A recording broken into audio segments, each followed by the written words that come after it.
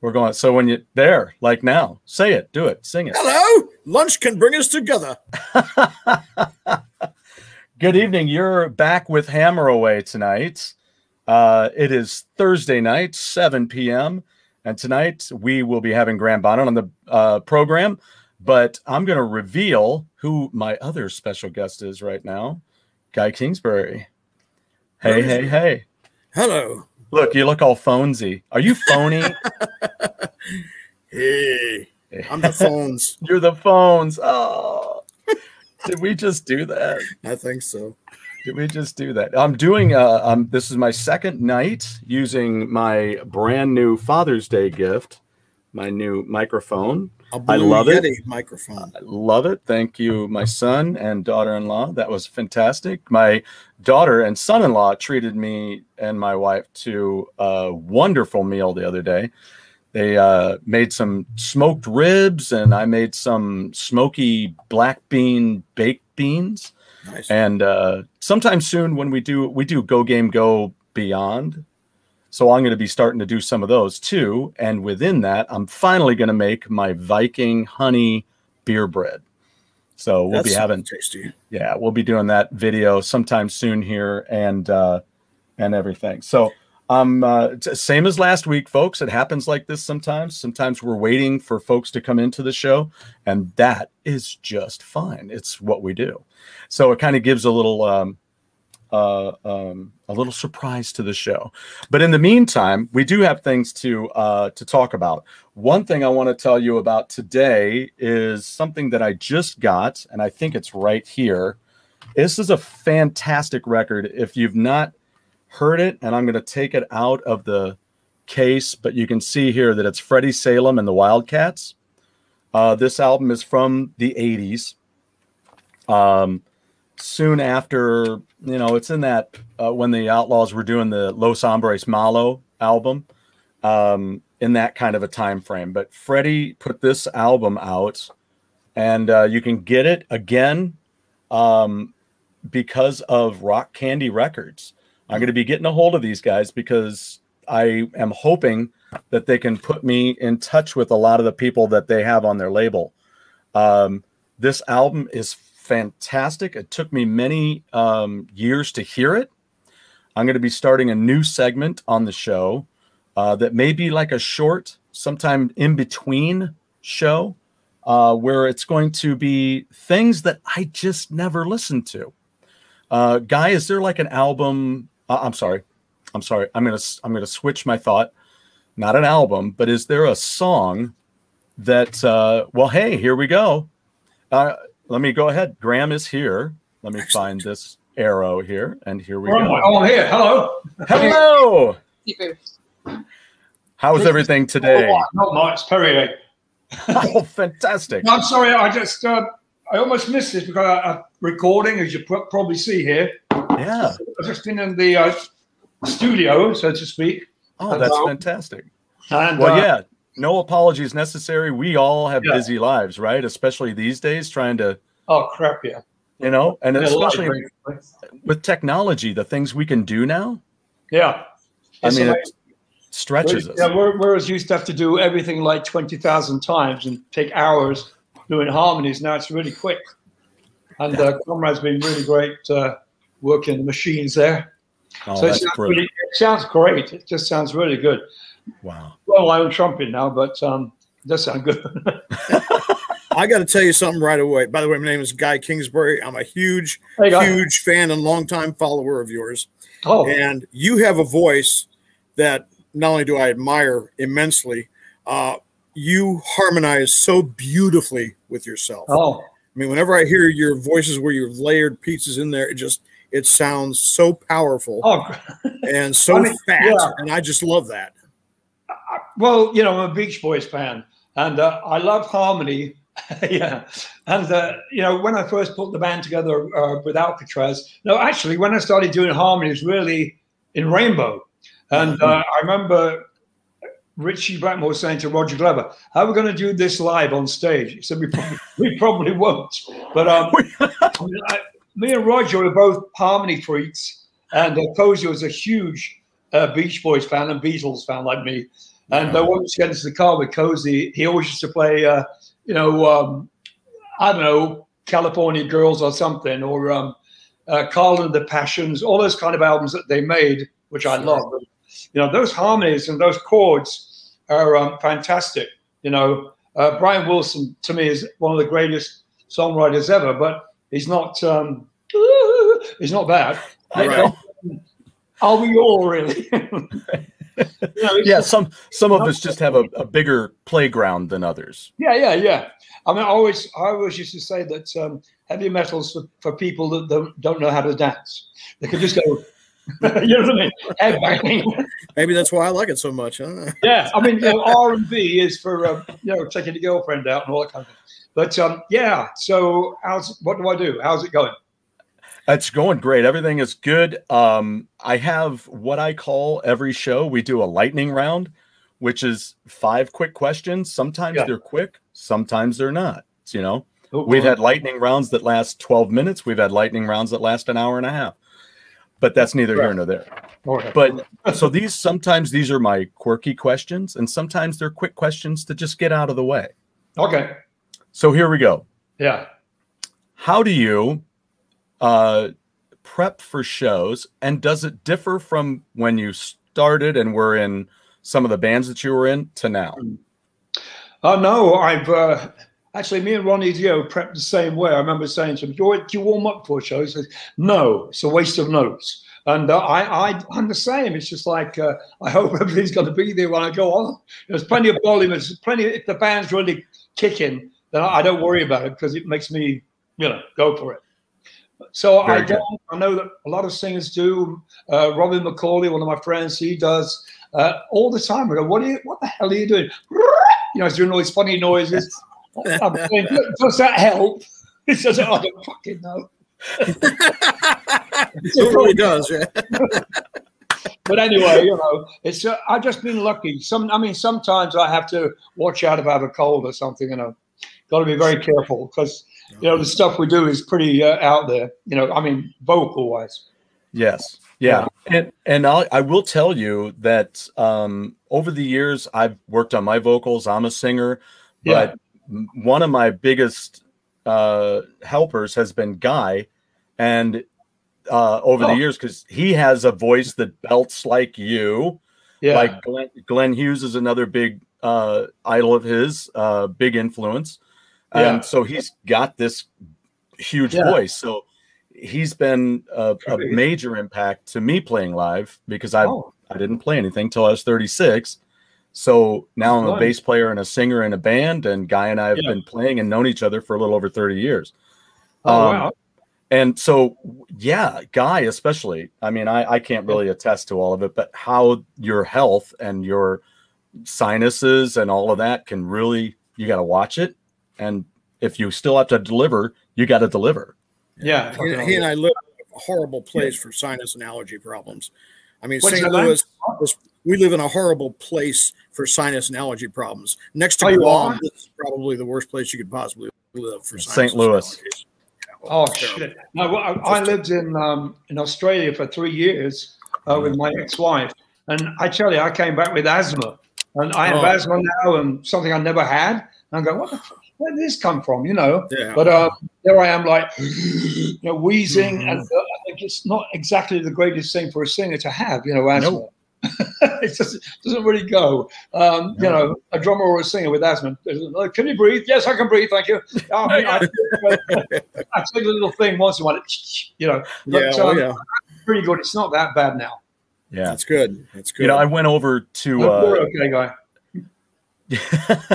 I went over to Europe uh, last yeah. year, uh, right before everything shut down, and yeah. uh, I was on. I did a few. Sh- I was uh, along with the band Wayward Sons over in England, yeah. and uh, and when I was coming back, I was concerned because I, the change in the climate, the whatever it was, my exhaustion, whether I had COVID for a bit, I don't know, but it just I was like, there's something yeah. happening here, and I hope I can sing again. But yeah, now I'm better than ever. So you know, incredible.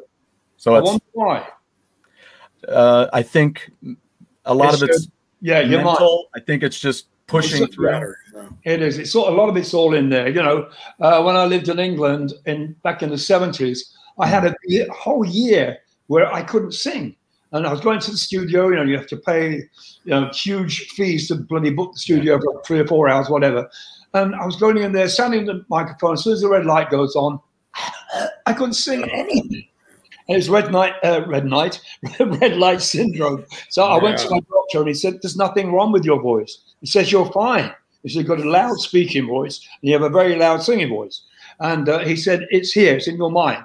So he gave me, um, I don't know, back then it'd probably be uh, Valium or something, just to relax me. Settle you, you know? yeah. Yeah. What, so, what year? What year do you think that was? Oh crap! It'd be uh, was it mid seventy, shoot, probably about nineteen seventy five. Okay. okay. But a whole whole year uh, worrying if I was ever going to sing again. You know, it was very strange. You'll never play the violin again, but I don't play. You know, it was, uh, it was like, you know, but you don't play. Ah, no. So, yeah, I, was, I used to make fun of it because I didn't know what to do. I didn't know what to do.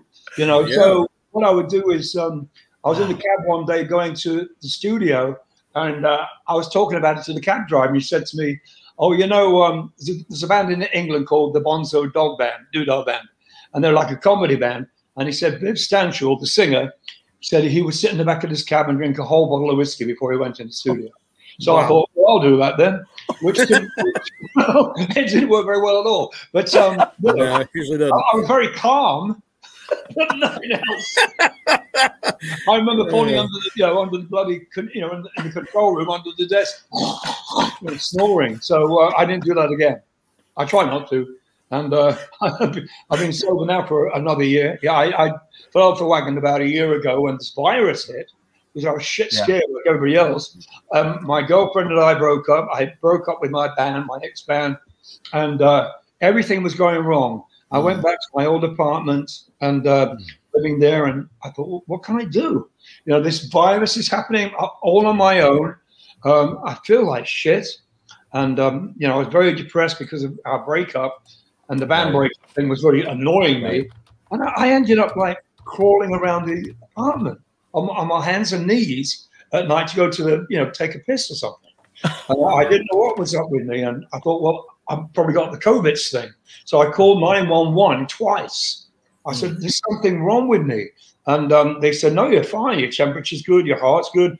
All the rest of it. But it's, again, it's the mind. You know, it made me ill not necessarily my body. You know, I've been, I've been telling that. people that like crazy. I'm yeah. like, stress will kill yeah. you. Yeah. And I mean, and I watched like, the liquor stores are like selling out, you know. Mm, so anyway, I'm not, I'm not doing that uh, again because it made me That's very good. ill. It made me worse. yeah. How was your snoring though? Was that on key? Yeah. I don't know. I was the only one there. I said, I, I broke my door. Haven't set up a tape recorder for that. Huh? He's asleep under the panel, but damn, he sounds good. Oh yeah, listen to that. We got a mix for that. We can do All right, yeah. yeah, I was. Yeah, there's lots of things you could put in, into harmony, aren't there? I, I there are. uh, you know, I was um, didgeridoo. You know, oh, yeah, like a harmony. Yeah, because it's only just like one note. Well, yeah. it, it is sort of if you play it really well, woo, woo, they do all these crazy things in Australia with the didgeridoo. Oh, do they really? Yes. didgeridoo. What are we still talking about the same thing? I don't know. Have you ever heard these people that can split their voice into two or three tones and move yeah. one of them, make harmonies with themselves? That just blows my mind. I mean, I can split my voice, but being able yeah. to control the pitches yeah. of the different voices is amazing to me. Yeah. Blows, blows hey, I tell you who did that. Kenny Rogers you ever hear his voice really? split? Really? Yeah, you'd like a, you'd hear like two of them, but it was like the octave, octave higher or an octave lower. Wow. It's just a thing. It happened to me once or twice um, on something. I can't remember what now, but a certain track I was doing, and uh, I don't know. I hit a certain note, and oh, I know where it was. It was way back in the '60s when um, I was with my cousin, and we had a uh, we called the Marbles. Yeah, and Trevor this the thing. Yeah, well, back then we were doing a track, me and him, and uh, just the two of us doing back in harmony. Then we would go up and listen in the in the uh, control room, and I said, "Who's doing that other harmony?" And it was a ghost voice. You get you get so close That's sometimes cool. in harmony. You get an octave or a semitone up or down or sideways. Not not not a semitone. I mean a um. What do you call it? It's an octave. Uh, not an octave. A maybe a third or a fifth or something like that. Yeah, yeah, but it was a perfect bloody harmony. Yeah, and awesome. we were just awesome. doing like Everly Brothers, me and him, you know, just the two of us. And this other thing, who's that? I said, we should put that. so we went back in and did it for real. But it's Ghost so weird. I remember. Yeah, sorry. So, no, so Trevor is your he's your cousin. Yeah, that's cool. Yeah, I lost Trevor. Uh, it must be ooh, about seven years ago now. Wow, uh, sorry to hear that. It, yeah, me too. Because I I talk about him every day. So that um, yeah. Bethany says to me, you know, I wish I'd have met him, and uh, so do I. He's a great, fantastic musician, and he wrote this book just before he died, all about yeah. guitar playing. Yeah, and uh, all that really jazzy shit. And that was what he was like. Very studious guy, really, really musical. And when we did play live on stage, he would, you know, uh, orchestrate the band. You know, whole group, you know, saxophones and whatever the hell, piano, guitar, whatever. And he would do that. He, and he taught himself from a freaking book, you know, which was just amazing. You know, wow. kind of guy. find a copy of that. Yeah, well, the, well, we did an album. It's called uh, The Marvels. yeah. And uh, uh, some of the things were produced by uh, Barry or Robin Gibb, and mm. some other stuff by oh god, I can't remember now. But anyway, it's all, a lot of the songs are like demos, and they ended up on a on an album eventually, an, uh, an LP. An LP, remember those folks? Absolutely. Yeah. Yes. And it's, I'm pretty proud of it. it. Sounds pretty good for two 19 year old, 20 year old kids. We, we did pretty good. And uh, thanks to, to the Gibb brothers, uh, I'm in this business now, you know, yeah. because that was a hit record for us and started well, not so much Trevor's career, but it did mine. Yeah. Right. He wasn't much of a rock singer, but he was a very. Uh, his favorite music was like um, you know Simon and Garfunkel. Yeah, very cool. You know, a great, but a great a great guitar player, and not a great writer. But yeah, and, and I was, you know, I was telling Guy that he yeah. worked with the Bee Gees over doing some stuff in Australia. Oh, he did. Right? Didn't mm. I was thinking that's what I had. Me? No, him. You he did. Trevor, did he? Did he did, what? Did he work? He did some work with the Bee Gees. Yeah, right? yeah. He he um yeah. When he was uh, I guess about 13, he wow. when when I he wasn't living in England at that time, he lived in Australia. And uh, he sent me these demos over of the Bee Gees. It was called Trevor Gordon and the Bee Gees. Wow. And, uh, yeah. And uh, a song called House Without Windows and it was great. I mean, Maurice didn't even. I remember Maurice Gibb didn't even have a bass, so he tuned down a uh, regular guitar. That's great. a lot of guys have done that. Yeah. You know, it's fucking great. But I mean, they made really good records, even when they were kids, that young. You know, Barry is just an endless music box. You know, he's got fucking tons of music in his head, and he can sort of uh, adapt to whatever style. If you, if I ask him tomorrow, you know, could you do me an R and B for this song? something like R&B. I mean, the first record we did was kind of R&B, I think. Wow. They called us the British, uh, the Righteous Brothers. I mean, that's sort of nice. what it was. Wow. Yeah. Uh, I, those days, to me, are precious, you know. Yeah. It's great history. And who would well, ever yeah. think to connect you with somebody like the Gibbs? Yeah. Because of your style that you're known for now, and the kind of music that they've been known for putting out, which is I wonderful. I mean, they're amazingly talented cats, no doubt about it. Yeah, yeah. I mean, I'm more of a hard rocker, and you know, stuff you yeah, do yeah, now, yeah. progressive and hard rock stuff. I just love it, and I've been into that forever and ever and ever. I started doing that to, you know, all that disco stuff. I hated it. My, my dad said to me, "says What is Barry doing?" I said, "I don't know, Dad." You know, I said it's horrible. I said, "It is," but, but then, then what happened was Robin wrote me a tune, a sort of a disco tune, and uh, it became a hit in Australia and New wow. Zealand. It was like a number one hit. I couldn't believe it. It was a song called Warm Ride. And it did Yes. Yes. I can't see you. Where have you gone? Oh, I'm just right here. I oh. just put you on the screen. But I was I was gonna get to that in a minute. Oh, okay. I I love that song and it, it, goes along with something I'll say in a minute. But yes, what a beautiful, what a beautiful song. Well, Warm Ride. Yes. Yeah. Your, well, your version is such a good. That's so good. Oh, it's so different, isn't it? It was. Yeah. They wrote that song when Saturday Night Fever came out, and it was going to be in that movie. Yeah. So they had one song too many, one too many. So they gave it to me. Here, Graham. there you go. They can do with it with you. And uh, I tell you who uh, Robin wrote it. And when um, when I got the demo, it was it was diabolical. I couldn't tell what the fuck he was trying to get at. Robin doesn't play anything. Bless him. Um, I can't believe all that they've all gone. It's yeah, scary man. And Robin didn't play anything. He didn't play guitar, didn't play piano, but he played melodica. You know those things you blow. Yeah, oh, yeah. play a keyboard kind of thing. That's how he got the melodies together. It was on melodica. And this thing for Warm Ride, I got this. I, I said to my manager, I said, what the fuck? What is this? What do I do? He says, well, it was going to go in uh, Saturday Night Fever. It still might. Uh, okay, blah, blah, blah. So I did it. And uh, Barry Gibb came along and rescued me because he listened to it and he started laughing. He said, well, I think I've got to fix this a bit, Graham. Uh, you know, it was, a, it was all over the place. It was nothing like the finished product. Let me say that. But Robin, very, very talented guy. His voice kind of annoyed people sometimes. That you know, the vibrato. But I, I loved it because that was their sound.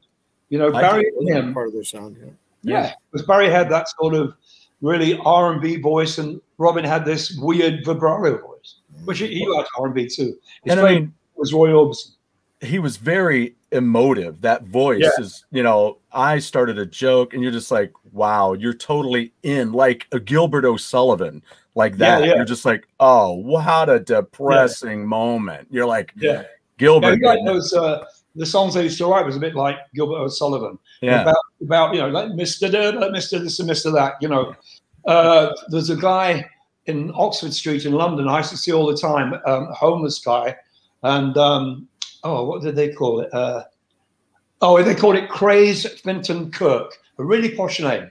But, the, but this guy was actually a homeless guy. His clothes were all tattered. And they wrote this song about Craise Finton Kirk, who he really was. You know, so they, they wrote stories, you know, and that's where I kind of got my ideas from, was from the way Barry wrote. But he used to get fucking uh, loaded first and, well, stoned anyway. Right. Yeah. Yeah. yeah. Back then. Back then. Yeah sometimes you just got to float to find the right thing. And yeah, you, know. Yeah, I, as, long yeah. As, you don't, as long as you don't, you know, go too far. Yeah, I know. I can't. That stuff uh, doesn't agree with me. No. Yeah, I hear you. Well, here, let me see if I can get because I know based on something you just said too. I, I want to make sure that Guy throws you a big compliment too. Um, what was your biggest on stage mishap? Mishap. Yeah. You know, you know what it is, don't you? no, I, I, I no. Yes, you, I'm, you do. This is not a loaded question. I get this asked me all the time. Oh, do you? Well, okay. What, what, if you don't want to answer it, you don't have to. No, it's all right. Everybody knows it anyway. I thought you. I thought you were kidding me. No, enlighten me. I, I, I may when you tell me, I might go, oh yeah, but no. Right now, I'm going. not a loaded question. Well, okay. I was with MSG, Michael Schenker. Okay. And um, Great album, by the way. We made an Assault Attack. We made that one album with dear Ted McKenna. Bless him too. Hmm. So I've been working with Michael recently and with Ted before Ted died. It was just horrible. But um, what the story is, um, we had a gig in Sheffield, at Sheffield University in England, and I wanted to get some jeans made. And I heard that there were uh, like jeans you could have made in an hour in Oxford Street. Wow. And so I went down there and had these had these bloody pants made. I thought, oh yeah, they're good. They're all nice and tight and all the rest of it. And uh, so we had this gig in Sheffield, and they split. My my pants split. Oh no! Yeah. So so what happened was I made a whole thing of the the penis. Now, it was part of the act. it, started, it started like that, but it, it got very coarse eventually. And very. I started wearing it. I was shit faced to put it mildly. I've been drinking in the afternoon with Whitesnake. They were on before us at this gig, and I got absolutely blotto. And I hadn't seen uh, Micky Moody for a while, and oh, come on, Graham, you know, it started boozing, and Oh. It, it, was horrible. I had to go off stage after about one song. Oh, and it was very embarrassing. They had to carry on on my, on their own, and I went back yeah. to the rescued by one of the, the crew. The great, we've got to get out of here. They're going to fucking kill you. I said, yeah, we've got to go.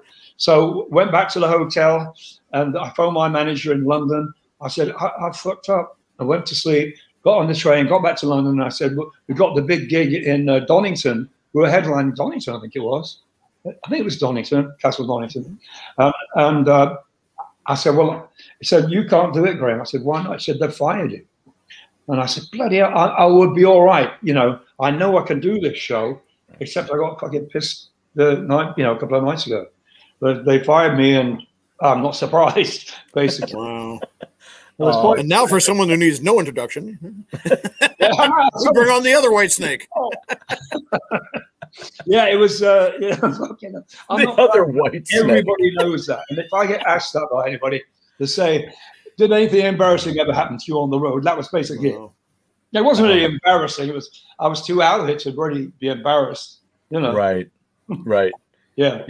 Yeah, I mean, we've I, like you know, I've had times where I, you know, I was going to go jump over a monitor and I missed, and I'm like stumbling, and I'm like, ah, this is yeah, you know, and guy, that's why I pretty much hold still anymore. yeah, I don't, I don't, do much of that. There's a couple well, of my favorite stories. Hey, Guy does have a couple of my favorite stories, mishap stories. Um, oh, you did?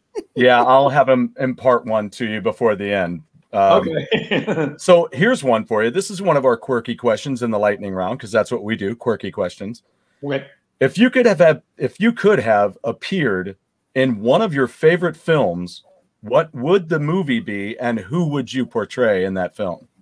James Dean. In which film? Wow. Well, uh, you know, Rebel Without a Cause. There you go. I finally watched that. Like to happen is to see what would have happened. I we talked about this years ago. Um, my manager and I, what would have happened if that car hadn't crashed? If he hadn't been killed.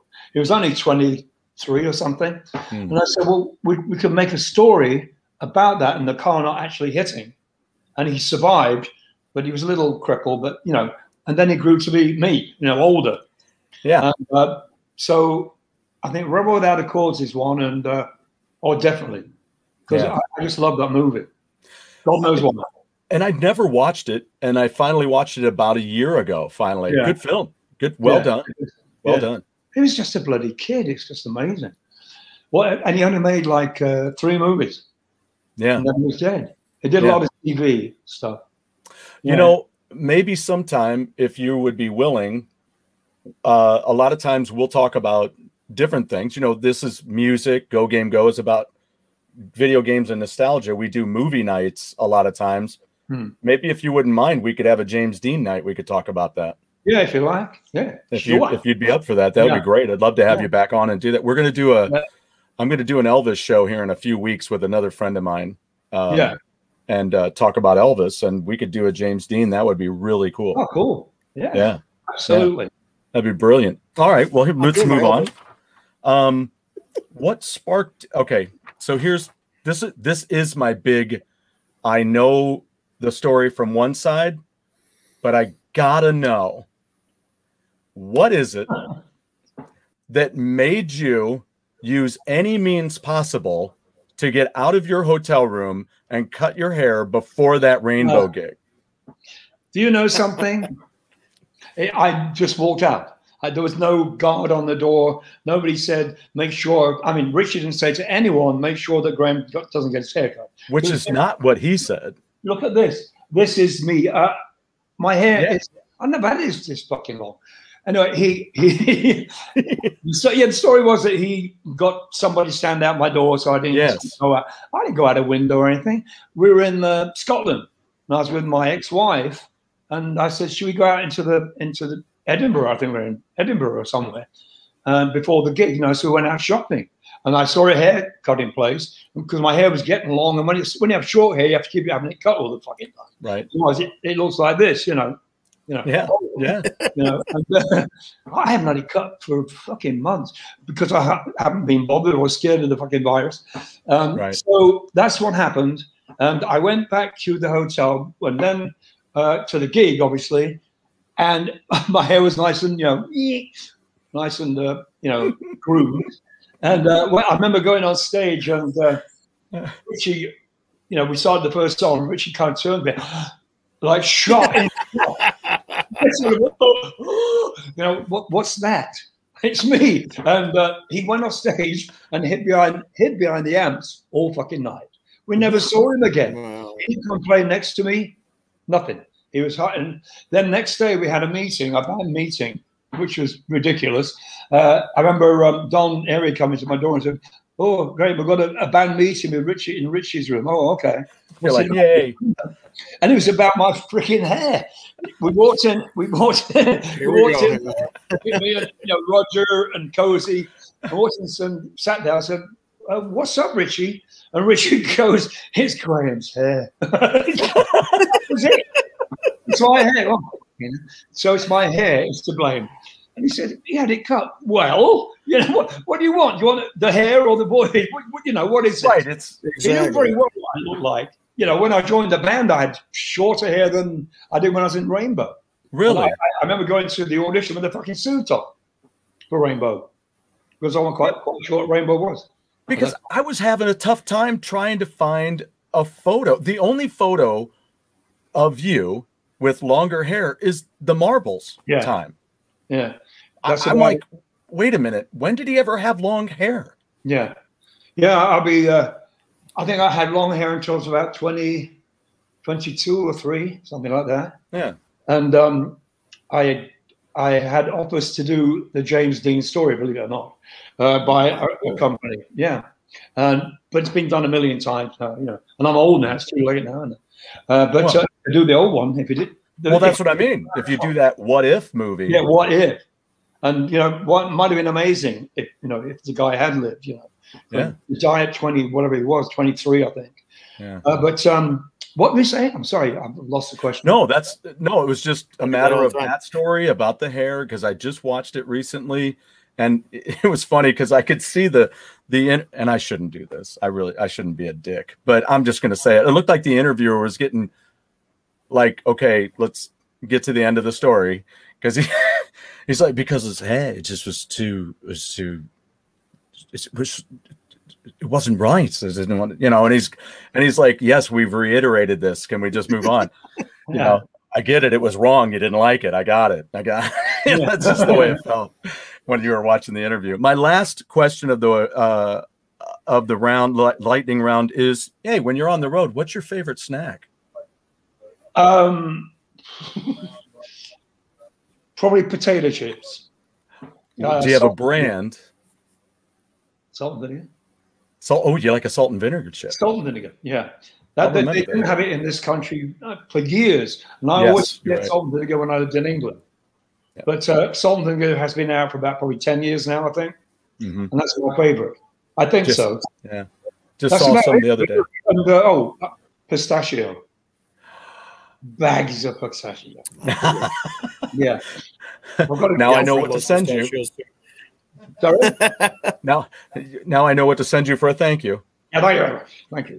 Yeah, it's uh, I've run out of pistachio now. Just told Bethany when she came in. She's ordering more because we usually get the great big bag. Yeah. It's really mm-hmm. from Costco, really pretty cheap because yeah. they were pretty expensive. What an yeah. exciting story! Well, hey, that's why this is music and the human experience. It's about yeah, you. People don't know. Yeah, exactly. Yeah, it's not just about the music. It's it's about you. That's. I'd like to ask you, Graham, on a professional singing level. Yeah. What do you do to really try to take care of your voice? I mean, you said you don't do warm ups before shows. Yeah. What do you avoid? What do you make sure you do for yourself to just try well, and keep it running the way you want it to run? I don't know. Recently, my voice has been the same as it was when I was 30. I don't know what it is, but I've been very lucky. Mm-hmm. Um, but what I was told off about drinking coffee by my doctor, he said, don't do that. That's the worst really? thing you can do. You'll get acid and, and all this. Mm-hmm. And uh, so I drink pots of coffee now, just, just to prove him wrong. Yeah, usually a warm drink like that, coffee or tea, makes yeah, yeah. really so sing well, you know. Yeah, exactly. Don't drink liquor. Don't drink hard liquor or yeah, whatever. I found that, that out the hard way. Yeah. Yeah, and uh, but I had a very scratchy throat about um, shit probably ten years ago, and uh, I went to my throat guy and I said, "There's something uh, you know tickling down here in my throat," and he said, "Let me see." So he stuck the camera up my nose like they do, and looked at my uh, vocal cords, and he said, "Look, you got it. It's all scratched. It's like it's taking a beating." Because you said you're not 21 anymore, and you had a few years of you know, right, yeah, pumping said, out. Yeah, and so he said, "Let me see what I can do." He said, "I, I can fix that." So what happened was I went in hospital, uh, you know, one morning, came out in the afternoon, and he'd put um, uh, cortisone into the vocal cord that had gone flat. You know, because the vocal like a little balloon. You know, Right, yeah. and it, it was com- completely flat. So that was a long time ago, and now it's uh, uh, better than ever. You know, Wow. so my voice sounds, to me anyway, it sounds pretty much like it I sounded when I was thirty. Or, Oh, the recent tour videos I've seen of you, you sound phenomenal. I mean, oh, every bit as good as you do in the studio, if not better, on some things, and uh, Oh. and that's so hard to do, especially with this powerful voice you have. I'm a I'm a loud singer too. yeah, And, uh, I've always had you know issues with sound men putting my gain up too high, and then they got back everything off, and they started Yeah, me sing. And one thing I always do with sound checks is I sing. I don't give them one, two, three, four. That's bullshit. I sing because I, they need to hear what I'm going to be doing that night. yeah, And I get a lot of appreciation from sound guys about that too. It really helps Yeah. them dial Oh, yeah, you in. absolutely. And but you know, I found out the hard way about alcohol and how that can really deteriorate what's going because it dries up everything in your voice. absolutely. Yeah, I yeah, one night I was playing a gig and out 200 miles out of town with a local band that I had here, and I lost my voice second song of the night. Fortunately, we had a girl in the band that sang some lead, and she ended up covering the rest of the night. But I couldn't get a note out of me; it was a whisper. And I went and saw uh, an ENT guy who was a big shot in town. He, actually co-wrote the textbooks for one of the universities here in St. Louis, teaching Yeah. that stuff. He looked at my throat and he asked me what I did, and I said, "Well, I work a day job. It's pretty sedentary. I'm a Yeah, designer, but I I, play a lot of nights a week. Not enough Yeah. monitor, loud stuff, high end stuff. I've got Yeah. a very high range. Yeah, and and he said, he said, well, you don't have nodes yet, but you have the biggest calluses I have ever seen on a set of vocal cords. The next step is nodes, and then you yeah. lose your voice. Hi, Daphne. Yeah. And uh, so, yeah, he had me quit doing what I was doing for Oasis. I'm not saying you Yeah. have to quit singing altogether, but stop. And he gave me these concentrated guaifenesin capsules, you know, like they put in the expectorants and stuff to just make your juices Yeah. go nuts.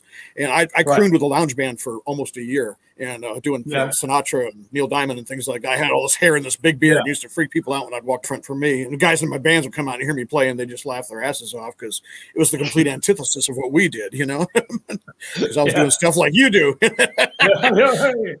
but yeah, trying to take care of it and keep it on the upswing all the time is always a battle. You know, I really have It- to it watch is. it, and especially with the sinus um, problems and allergies I have here. correct.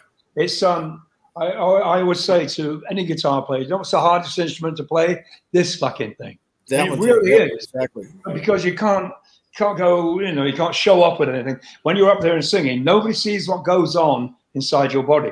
You know. And you come on stage, your bum hurts, you know, the back of your legs and here because you use muscles you don't realize you're fucking using. Oh yeah, yeah, I mean, you, it's absolutely. tiring. So you know, but it is. It's uh, always. I've always said that, and it really is because I try to look after it, but I don't really, which is a, a bad thing. Well, Yeah. you're I getting away with it so far. I What was I? said you're getting away with it so far. Well, yeah, yeah. I, I, I've been singing today, you know, and I'm going like, fucking hell, where did that come from? And I don't get um, sort of tired like I used to because that thing on my uh, vocal cord that was wearing me out. I was like, "Ugh," you know, I was having to Yeah, really push it hard. But absolutely. um, now uh, that's what she said. No, not me. Uh, I went into another world. we're waiting for one of those. It had sooner or later. But that's what she said. Go my fucking head. Yeah, so no, I'm sorry. I was actually in the in the fucking house recording vocals. Yeah, I did a lot of harmony today. We did uh, got about 18 voices or something. But it, you know, it always works out in the end to sound good. You know, Wow. stacking harmonies. I love that.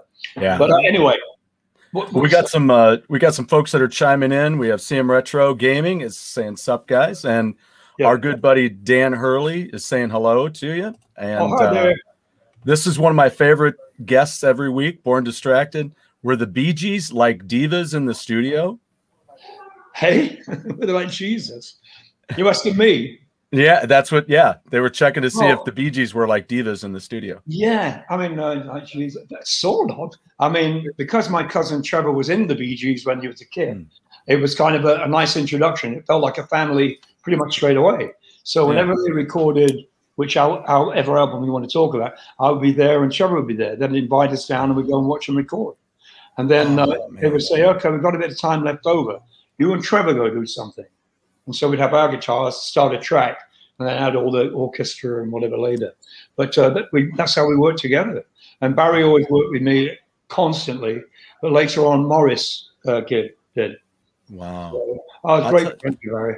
I'll tell you what. Some of my, uh, one of my favorite lightning round questions is uh, it has been in the past. Uh, uh, what album, what band, and what album would you have liked to have been a fly on the wall in the studio? And and with you, what you just mentioned, I would love to have been a fly on the wall on that main course album recording. Yeah, I love I love main course by the Bee Gees. That's such a great record. Well, I was no, I wasn't there, was I? No, I wasn't. But who would I look at? Wet fly on the wall. Um, probably the Beatles. You know, yeah. To really, to really see how George Martin worked with them. I, I did exactly. with George Martin. He was, yeah, the production, all that shit. I mean, he was the fifth guy. He was the fifth Beatle, yeah. as everybody says. And uh, I was lucky enough to do a Beatles show here with uh, Brad Delp, you know, from uh, Boston, and uh, oh God, who else? Uh, a whole bunch of people. And um, we all did. Uh, I did "Oh Darling," "Oh Darling," you know that song. Mm-hmm. Brad did. Um, God, he did a couple. I can't remember, but we all did the harmonies exactly the same as they did, and the guitars were tuned exactly. They're playing in the same position that George or John would play. So it sounded fucking, it sounded very close. It was really magical. That was one of the best things I've ever done once. And anyway, George Martin was there, and he gave his uh, seminar sort of thing about how they recorded, and there's you know screens up the whole bit, and he would talk for about you know 45 minutes and explain the Beatles recording. And it just was like, fuck, it's just amazing because equipment back then wasn't that fabulous. You know? Oh, yeah, compared to now. Yeah, you know, I Am the Walrus or something and Strawberry Fields, those songs are so trippy, you know? Yeah. yeah. How do they do that? And uh, George said that in, I think it was I Am the Walrus, he said some of it was in different keys. So we had to kind of slow the tape down or whatever. And when the way we, I remember the way we used to slow, slow tape down was putting our hands on the wheel, you know. Yeah, if you want to get a higher note, well, I can't get that D today. Can make it yeah, exactly. Slow the tape up just a bit. Uh, anyway, that, that's how we used to do things sometimes. Wow. It was so so funny when you think about it. But it's, it's not that long ago, but it is. I mean, things now are so amazing what you can do mm-hmm. with people who can't even bloody say hello. You know. Oh well, yeah, yeah. There's there is that. Hello. Bethany. There goes Bethany, and there goes Layla. Layla and Bethany. Uh, yeah. So, yeah. So it's um, I, that as I said, that thing that happened to me when I couldn't sing for a year was yeah. just in here, and a lot of it is I still get that a bit. You know, like you know when, when we're on stage live, I get that nervous thing. But if you don't, then you just think you're Mr. Hey, I'm perfect. You know, I can't, I can't fuck up. It's impossible, but you can always fuck up. Well, you know, you, know, you mentioned uh, that that happened to you in the mid '70s. You know, not yeah. not long after that, we all, uh, you know, well, a geek like me knows that that very same thing happened, maybe in a different for a different mental reason, but for the same thing, it was a mental thing to Meatloaf. Yeah, it did. Yeah. You know, he went to yeah. do that second Meatloaf, that next Meatloaf album uh, after Bat Out of Hell to do Bat Out of Hell 2. And yeah, people were telling him was, he's a superstar. And he goes, I don't want to be a superstar. Don't call me a superstar. He got in the in the studio. Todd Rundgren is ready to go. You got Jim Steinman with all the songs. Yeah. And he couldn't do it. He had, what you were describing. I love that you had a chance to tell people that because yeah, and to tell us that tonight because that's that's an interesting fact. I mean that red light syndrome. You've yeah. heard of that, right? And I mean, every, there was another. Uh, I think it was uh, not uh, maybe Wilson Pickett or somebody, one of those soul singers from the sixties. Yeah, same kind of thing. It's like I can't sing, you know, but you can talk. Now then, the speaking voice would go, you know. But it, but it is a it's horrible having to go through that. And uh, in fact, we were going to have um, Meatloaf's manager be our manager at one point, and she said he he was having a problem in mm-hmm. his mind about his mm-hmm. vocals, you mm-hmm. know. And this is a few years ago, but um, it does happen. Yeah. It's a yeah. real drag because you can't just pick it up and turn up to 10, you know? Yeah. If only we could. Hey, you know, some porn stars can't get it up when they need to, you know? I'm sorry, I'm being, I'm being Are you? Why aren't we being slashed? What is going on here? Now the, now the bottle of wine's come out. Oh, bloody hell. nice. There you go. I've got three women at the end of the, the bench here. Now I'm flashing you? That's good. now I'm. Hey, let me ask you, Graham. Yeah. Who are some singers that you really admire, either from the old days or now? Yeah, um, Christ. Well, my the first thing I am, I was Paul, Paul Anka. Oh, then yeah. uh, I got to uh, Little Richard, Little Richard. Um, oh God, uh, Buddy Holly. Not because he had a great voice, but the songs. He knew how to put it together. Yeah. It was magical. I, I, don't know what it is, but he's timeless. You, you hear lots of commercials now with his music on it, you know, which is amazing. I mean, I wonder what he he be doing now too. I'm in touch with his uh, sister, and uh, you know, really? write to her sometimes. Um, yeah, uh, who else? Well, obviously later on the Beatles. Yeah, the Beatles because you suddenly realize you didn't have to have a great voice to make great records, and they had good voices, but they weren't, you know, Mario Lanza or fucking, you know, whatever. Yeah. right. You know who I was happy to hear uh, because I have to admit, uh, if there's one thing I will be, it's honest because I've known your career through all the different bands you've been in. Yeah. But I was not aware of your uh, solo stuff, especially from 77, 78. Yeah. But I'll tell you what, I listened to it yesterday. I listened to uh, the first three records yeah. And your cover of Al Green is oh. kick ass. Tired of being alone. Tired of being alone, brother. That was that song came to to me recently when I saw the movie Chef, and yeah, I've heard yeah. it before growing up, but when uh, Jon Favreau did that movie Chef, there's a scene where he and his son are walking, and there's a marionette guy doing a thing with a like a with a skeleton, and he's yeah and he's acting like he's singing along to that song. All right. I'm like, I love that song. It was so well placed in that movie. And when I heard you on that first record singing that, I loved it. The arrangement. Who worked the arrangement on that? That's uh, that'd be uh, Pip Williams. Oh, good God, that was Pip beautiful. Oh, he used to work with uh, you know the band Sweet.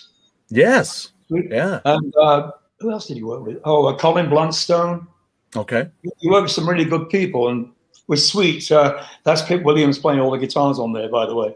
And but um, he's like uh, he's a professor now, professor really? of whatever. So he, he teaches um, or goes and does seminars or whatever the hell he does. So he's a guitar player and very good. He played on one of my records on, wow. on my album. In fact, those albums you're talking about, uh, Pip is playing guitar along with Micky Moody and other people. Well, uh, if there's one thing I can say, it's for everybody to make sure that you get out there and really listen to these these uh, solo records from the uh, mid and late from well from the they're all from kind of the late 70s right yeah. before you joined Rainbow hmm. um, because they are very I mean not like there's a big surprise. I'm just saying I'm going to start a segment on my show that's going to be talking about albums that I didn't uh, have contact with yeah. uh, through my years of loving music until recently and and how i'm so enjoying them. I, I yeah. there wasn't a clunker in the bunch i'll say it. Like i that's what i usually say. The whole album was totally enjoyable. I wasn't ever like filler. Oh okay. It wasn't like that at all. I just thoroughly really uh, oh, really enjoyed them. What happened with stars like that too to me. That was the same thing with the band stars. Oh really Well, Didn't grow up with it. We thought of every track being a single. Okay, is this going to be a single? Uh, yeah. That's the way we thought back then, you know. And uh, why not? You know, yeah. and that's what I'm trying to. Well, that's what we're doing now. We want every track on this album with the Graham Bonnet Band thing. We want this to sound like what the fuck is that? You know, something that blows you away if we can. You know, well, I mean, it's, it's hard. It's hard to do that these days, but I mean, you know. Well, and I think there's a lot of bands that are doing that. Yeah. Um, it's just I think the climate in uh, society is is a little askew uh, yeah. sometimes because there's times when I listen to things and they're by good friends of mine, and I'm like, mm, yeah, okay. But then there's other things, and I'm like, oh yeah, right yeah. there. And it's whether or not the corporations, if we could shove them aside and get that bullshit out of the way, yeah. and have radio stations yeah. that have a voice, not just radio stations. We all know there's tons of radio stations, yeah, especially internet radio stations. Mm-hmm. And if we can just get them to push the bullshit away and have one of those really be a strong station, yeah, uh, you know, and those start cropping up, yeah.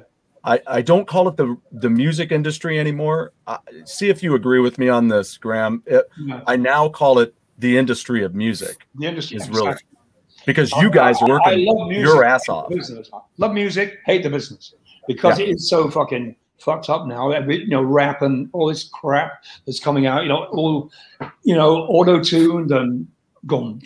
Oh, yeah. You know, yes. all that. I'm going, what the fuck is that? And then you go. I tell you what really blew me away um, was after a gig in um, London, I think it was a couple of years ago. Uh, we finished about uh, I don't know, say twelve o'clock, midnight, hmm. and we came out and we had a very small audience, like I don't know, fifty people. It was a, a rock club, you know, mm-hmm. coming out. So we're going out, getting the stuff away, and there was a line around the block.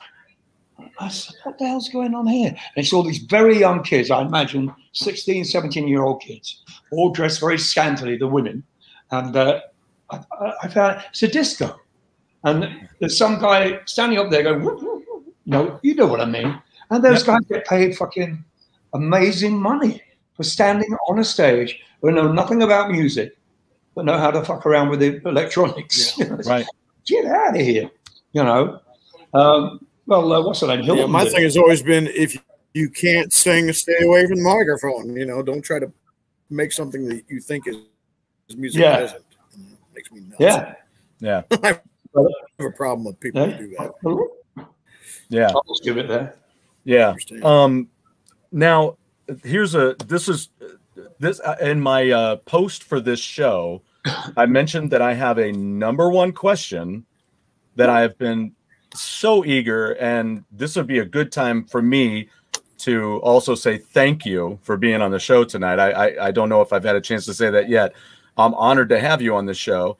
And one of the thank things you. that, well, and one of the things that really makes me happy is uh, after all these years of being uh, a music head and now a musician, there's certain things that I've always wondered. And because I've followed you through all these different bands and throughout your career, the one thing is one of my favorite songwriters is Russ Ballard. And of course, you have a long standing relationship with the song since you've been gone. And what is it that brought you to that? And what makes that such a gem in your collection throughout your career? Well, since you've been gone. Yeah. Well, you know something that almost wasn't recorded. No. Uh, when I went to uh, uh, you know, uh, rehearse whatever for the Rainbow album I, I did. Uh, yeah. They left this song till last. And I said, What's this song? They said, It's a song called Since You've Been Gone. And they played me, uh, Cozy did, you had it on a tape machine, a tape machine.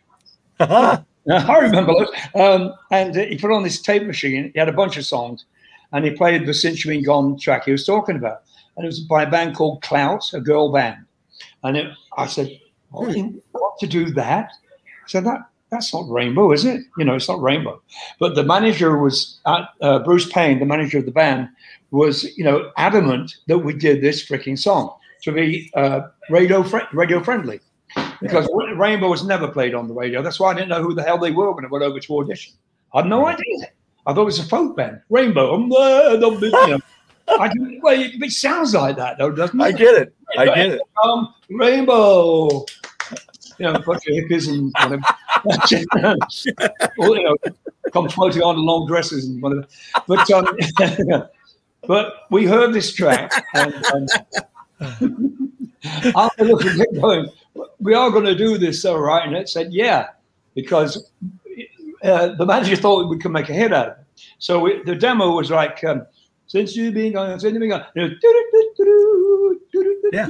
it's very, you know, so, so instead, instead of doing that, we just changed it a little bit. Whoa, whoa, whoa, you know, just changed it a little bit, and with Ritchie's heavyish guitar behind it. Right. And uh, we did it, and he came in, the manager came into the studio and said, That's it. I'm telling you. And it was played everywhere, every fucking where. You know, none of us could believe it, you know. And so, well, thanks to uh, Russ Ballard again. And yeah. I was going to get something for the album we're doing right now from Russ, but he said, I don't have anything right now. He's been out on the road a bit, been doing stuff. But uh, there's a chance that maybe on the, a, la- a, later album I'll do something. But I've had his, a song of his on everything I've done, just about, with the Graham Bonnet Band, etc. Yeah, yeah. He's got he's got some great songs through the years. Oh, you yeah. know, it's it's funny that you mention it almost not being recorded because that's the way New York Groove was for yeah. Ace Frehley. He yeah. they brought it to him. He's like, "What the hell is this?" The? Yeah. yeah. He's like, "I don't, I don't, then, I don't think I want to do that." Yeah, and you can be so freaking wrong. Sometimes yeah. you have to listen to other people who see see the big picture, like they say, and we, we didn't. I mean, Cozy was like, that fucking saw, fucking hell. You know, so he just flashes it out and leaves the room in protest. Cozy, Cozy like did all of his drum tracks within a week, I think. Oh, England, it was great. So I'm going now. See ya. and he got his in his car, took out a Mars bar, started chewing on it, and started playing the Beach Boys.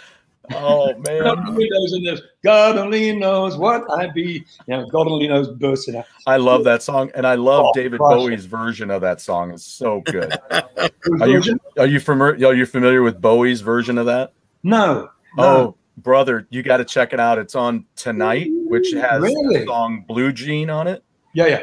That is one brilliant record. If you've never heard Tonight by David Bowie, no shit, it is a brilliant follow up to Let's Dance. Such wow. a good record, and it, it's one of those you're like, okay, it's going to fall off any minute now, right? Yeah. I mean, I'm going to kind of be like, yeah, maybe not that song, but no. It's very emotive all the way from the front to the back. It's got a good feel, and it the way it ends is killer. And oh, and his version of God Only Knows, beautiful. Wow.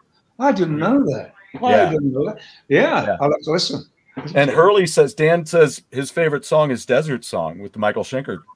Excellent. That? That's our buddy Dan that's on the chat tonight. He said that uh, oh. uh, Desert Song is one of his favorites. Oh yeah, Mine yeah. too, actually. it's one of the Everything on that Schenker album is so well done, man. You're writing. Yeah, producer, man. That's another thing I want to ask you. Where do you get your inspiration for your lyrical ideas? Because you come up with some uh, deliciously unique stories in your lyrics. Well, really um, cool stuff. Yeah, that's me. Uh, deliciously unique. unique. Well, Graham, you're so delicious. Who knew? Sounds, sounds so romantic and fabulous. Um, well, his name is Graham, after all. Uh, I'm, I'm, just Graham, and I, I'm I'm a reporter. what I do is um, try and find a subject that's real and probably scary, or you know, a mystery about something, or something about a place I've seen. Uh, you know, about real things instead of um, you know the sword in the stone and you know dragons right. are you know which everybody does. That's why I can't I can't listen to other so-called heavy bands sometimes because the lyrics are silly but I tried to, tried to make them about real things. The one of the tracks I did for uh, Michael Schenker's album about uh, two years ago, even though the title sounds evil and weird, it's called "The Beast That Hides in the Shadows," but it's not about what you think it's about. It's actually about Alzheimer's, and um, mm, yeah, and uh, so the, everybody. It was a single. They put it out as a single. I don't know what happened to it probably nothing. But everybody says that that song, you know, because I lost my brother to Alzheimer's and my dad. My dad, my mom. Yeah, it's my brother died about years ago. So, you know, they're there, but they're not. You know, right? You know, right. It, and the beast. And what I say in that thing is, um, you know, is it coming for me? Do I have to you know, be very careful because it might get me one day? Mm-hmm. Am I the next one in line? And that's basically what it's about. And uh, you know, Michael just went, "Oh my God!" You know, so yeah, I'm very glad to say my my uh, track was chosen off that album to be a single. Yeah. That's great. Very cool. Yeah. Yeah, it's it, it's pretty amazing that whole thing. I remember uh, losing my mom, and she had it, and uh, and I remember yeah. soon after that, or uh, or just during that time before we lost her, Dave Mustaine was doing a big campaign for Alzheimer's uh, because his mother was suffering from it too. Yeah, and uh, yeah. and like you said, it that's the way I feel about it too. It's yeah. a it's a tough thing. It's almost as if they're imprisoned. Yeah. In a shell and they can't communicate. It's oh, yeah. yeah. It's I, I used know. to call it nonsense time that I'd have with my mom. Yeah, well, uh, the last time I saw Tony, my brother, uh, mm. all of it, Bethany and a couple of the band were in, in the pub in England. Mm. And uh, I sat next to Tony. I said to him, do you remember, Tony, when I had that little car that used to do this and do that? I said, I think you took it off of me, you know. I think you've got it. He said, I don't, I don't have it. I said, I think you do, Tony. And I had my Ray-Ban uh, glasses case. Mm-hmm. It was undone.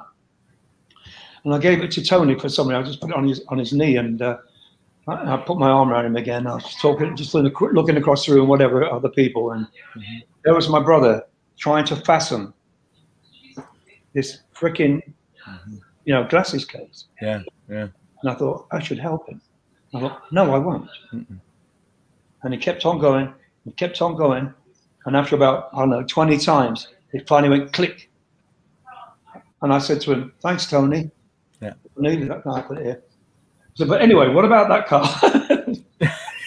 I'm sure he stole some of my bloody toys. I, I, you know, he was my big brother, and uh, always will be my big brother. He's still in my mind, he's still in my heart. He's still yeah. here, as far as I. Yeah. But uh, to have him become this guy that couldn't, in the end, couldn't talk, yeah. and you know, li- living in a place where people are looking after him, mm-hmm. and he, he, was my age, seventy three, mm-hmm. and he died, and I, I just couldn't believe it. Yeah. It's, yeah, it's, my dad. It's a tough. Like a, a, role reversal with my dad. Suddenly, I'm pushing my dad in a stroller, you know, a wheelchair, taking him to the bathroom, which he would used to do when I was a little baby. So that right. role reversal is sure. the strangest feeling because suddenly you're looking after a little baby. My dad was 92, you know, and it, mm-hmm. I cry to think about it now, you know, because right. I love my so much, and my brother, obviously, they're part of my right part of me. Exactly. exactly. Yeah. yeah. They're the reason that we're here right now doing this. I mean, it's, you know, it brings you together yeah, yeah. with people. You have good relationships and it leads you to other people. It leads you to want to know other people. You know, I, I, I played, uh, I started playing bass because I, I started with a church down the road. The, the leadership has changed there and the, the new pastor wanted to get a hold of me. I'm sure he wanted to know if I wanted to maybe do the band, but I, I wasn't really interested in doing that, but I wanted to meet him anyway because it's about people. It's about absolutely. You know, my friend Toby Jepson mentioned that recently. He's like, I read a book that says your answer should be yes. If it's something, if it, you know, if you have a friend that calls you, says, "Hey, man, do you want to go get a drink?" You know, or or go get a cup of coffee. Yeah, yeah yes. right. Yeah. yeah. You know, know, it's not about uh, it's not about saying no. Um, Absolutely, because yeah. you never know when those people won't be there anymore. And then suddenly That's your right. world is changed, and you're going, "Where is everybody? I, am in a strange world suddenly." You know, we, we went to see uh, one of Bethany's old boyfriends. He had mm-hmm. a brain tumor, and uh, he's in hospital right now, in fact. And um, I, would never met him before. I was kind of jealous of him because, yeah. mm. anyway, his head had been cut open and everything. And I met him. His name was Michael, and I I broke into tears when I saw him he was hard, he could hardly speak. But then a few days later, he, he was up again. You know, but I gave him a hug and I gave him a kiss behind my. I was wearing the mask. I gave yeah. him. I've never before, but I, I, I felt so like, why didn't I do this a long time ago? When when she told me about this guy she used to go out with, I was so like, you know, I don't want to do that. But when this happened, I, we both said we got to go see him, and I wouldn't have done that a few years ago if you had a brain tumor. And I would not have done it. But now, as you say, you've got to communicate with people. You have to yeah. realize we're all, all one piece of mud or whatever. Right. We're all one piece of mud. Right. And it's like I say, everything happens for a reason, in my belief. Yeah. And everything happens when it should. Yeah. So we can live with regret, but why? Just know that yeah. when it does happen, like you just imparted to us about that story, yeah. it just happened when it was supposed to happen. Yeah. You don't have to worry about I should have, I could have. Just that you did is a beautiful thing. Yeah. You know, and, and it uh, makes you, you feel good. You know? I would never.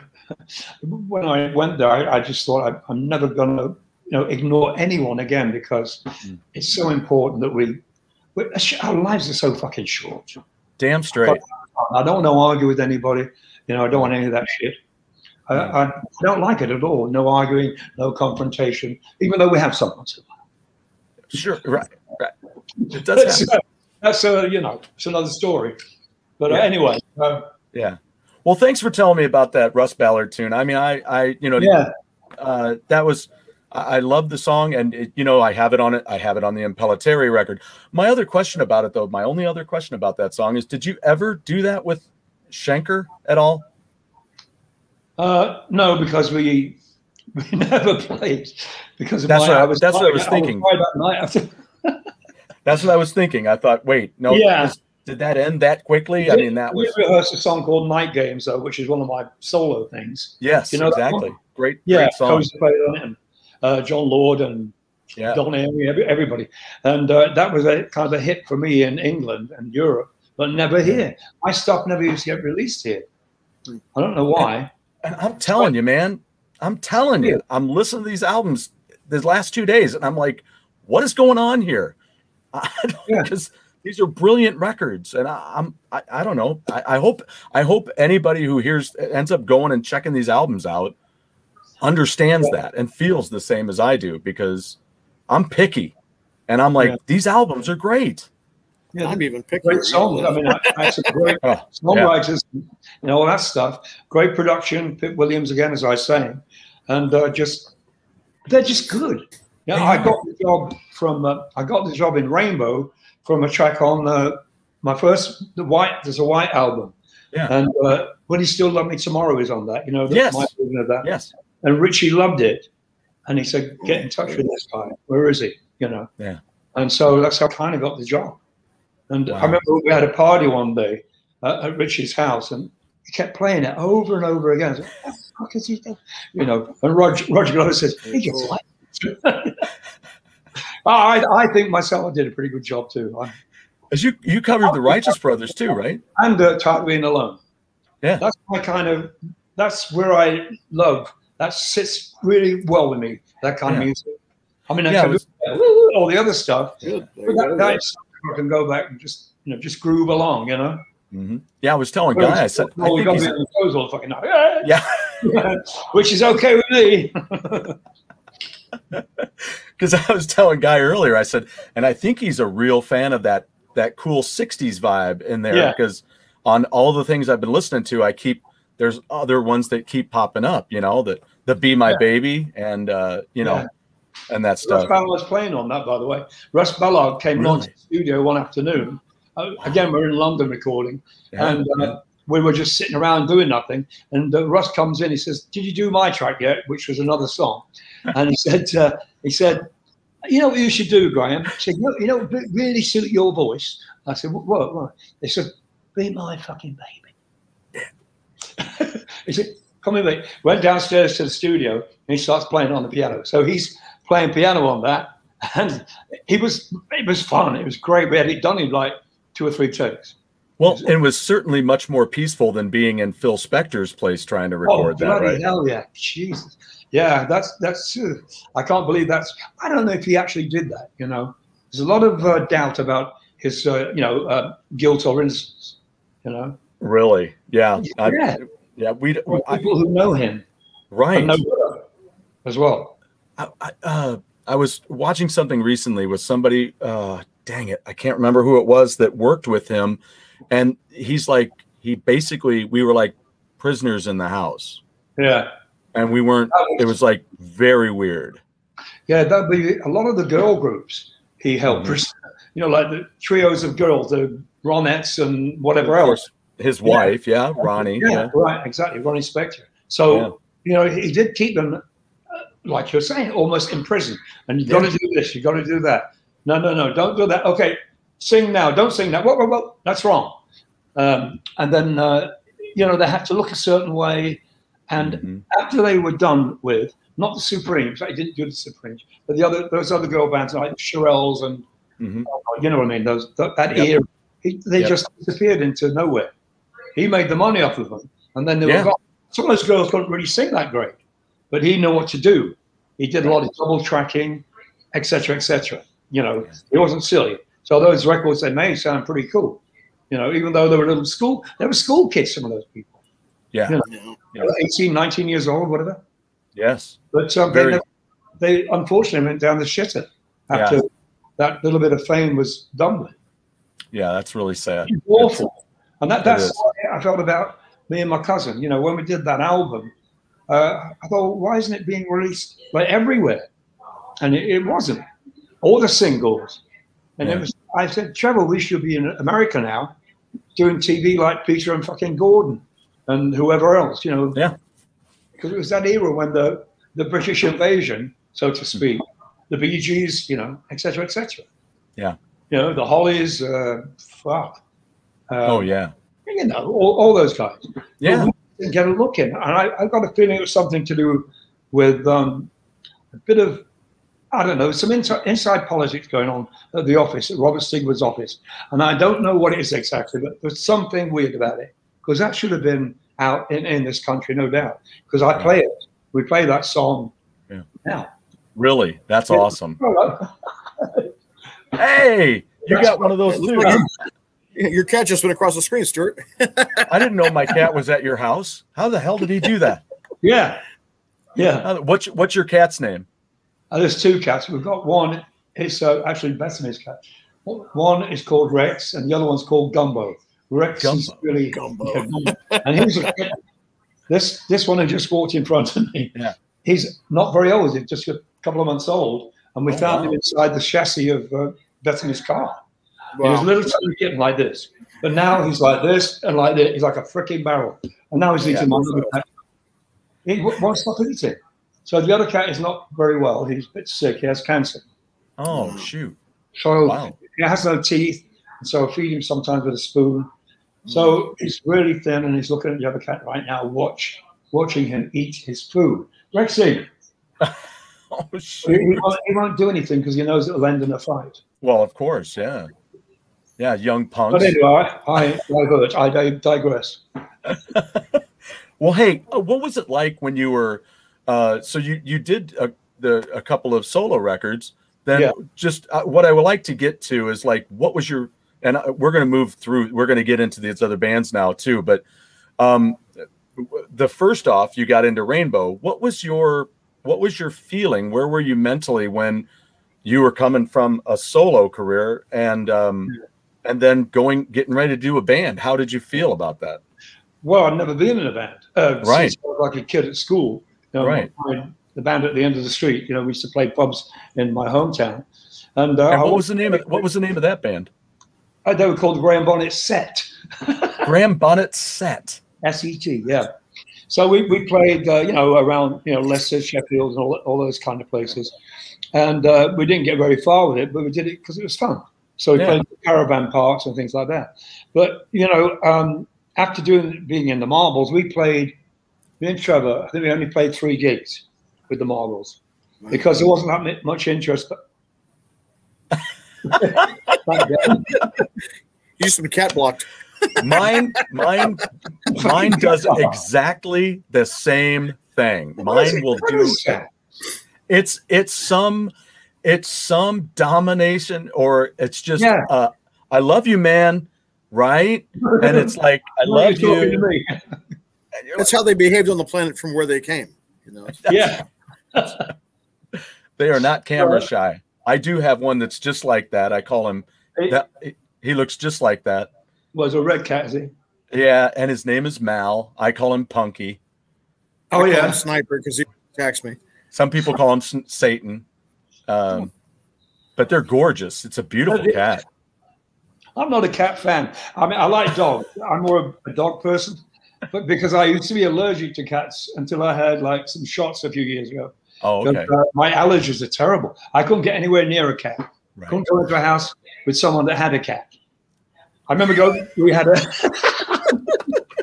I love it. I'm going to be on the show one way or the other. I love it. Yeah, little bugger.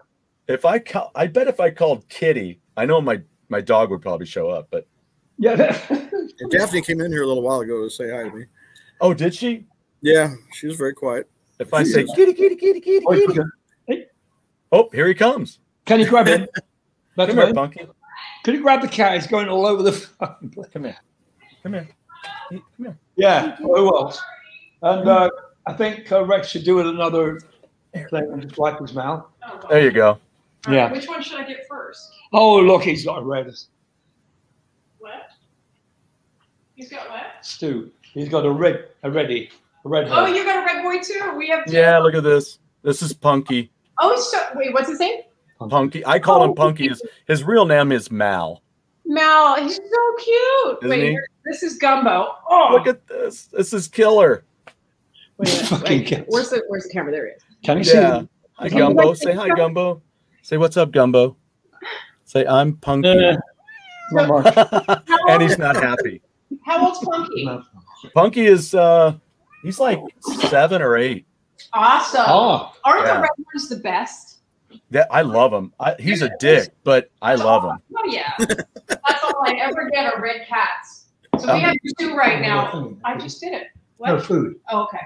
Yeah, yeah, they, yeah. Rex, Rex, isn't going to be him, with us much longer. Take him with you. I can only do one thing at a time, sweetie. But they'll keep him out of his food. the, the, the, cat, the young cat, steals the old cat's food. Oh, they. And the yeah. Food well, why don't I just feed them both, and then it'll be a done deal. Well, oh, yeah, okay. They are they are animals, I'll tell you. no, they're bloody animals. They are. I hate them, you know. Okay, yeah. Who wants fish? Yeah. So okay, yeah. So if so, then you well. Uh, so uh, we were just talking about getting into a band, and and then yeah. oh. how was yeah, the was, well then? What was your feeling transitioning from Rainbow to? Oh, you and, and this is something else I wanted to oh. mention too. You mentioned that you talked to Dio. Did you talk to Dio yeah. at that time when he was exiting? Because he was going to get ready to do another. He was getting ready to do a huge thing, just like you were getting ready to do a huge thing.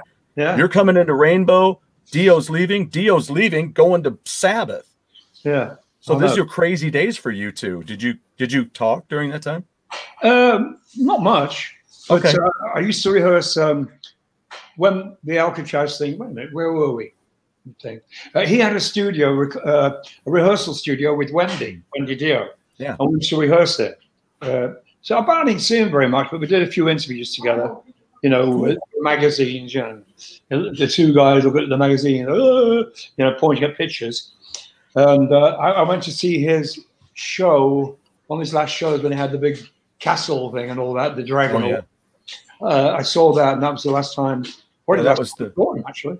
Yeah, I guess that was the uh, the dragon. Um, yeah, the, you know all the.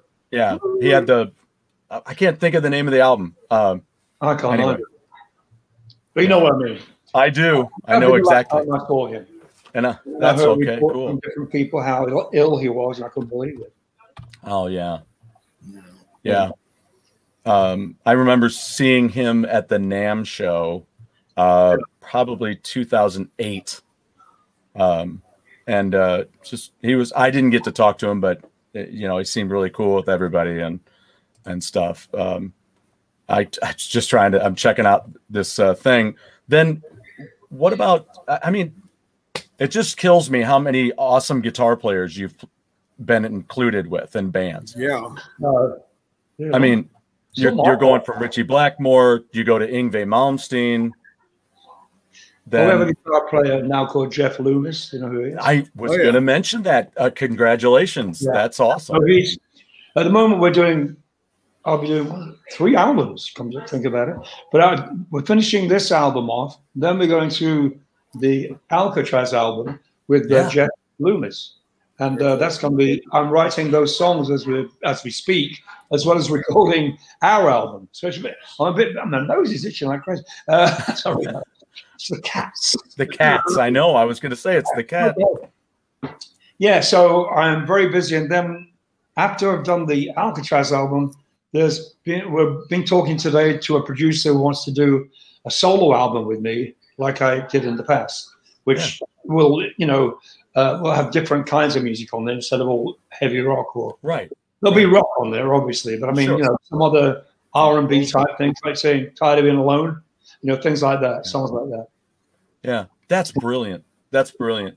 Um, I just wanted to ask too. Uh, I know that you know we've again other interviews and things that I've heard about the stage life with uh, Alcatrazz with Yngwie. Was there a difference? Because I was listening to No Parole on my way to work and home today, and damn, that's I mean, I don't have to tell anybody what a great album that is, but oh. uh, but just those moments where you're listening back to something and you're going, damn, that's tight.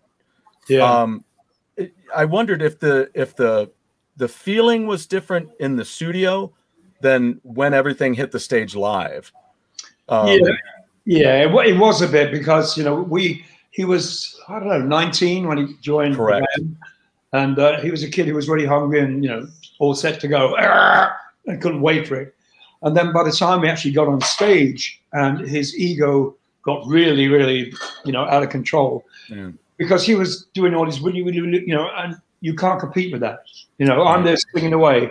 And during like the verses or whatever, or choruses, he would stand in front of me and oh. nobody could see me right. He's like six foot two or whatever.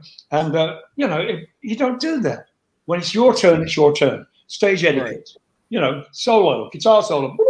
No, okay, now it's me. But he would start whittly whittling through like the verse to whatever, whatever song. Yeah. Oh. Yeah. Yeah. Well, I mean, like since you've been gone, I got the same old dream. yeah. You know what I mean? No, you don't do that. He didn't do it through that, but he did it through um, you know, our songs, the ones we made up. Yeah. Yeah. Hiroshima or whatever. Right. You know, whittling from start to finish.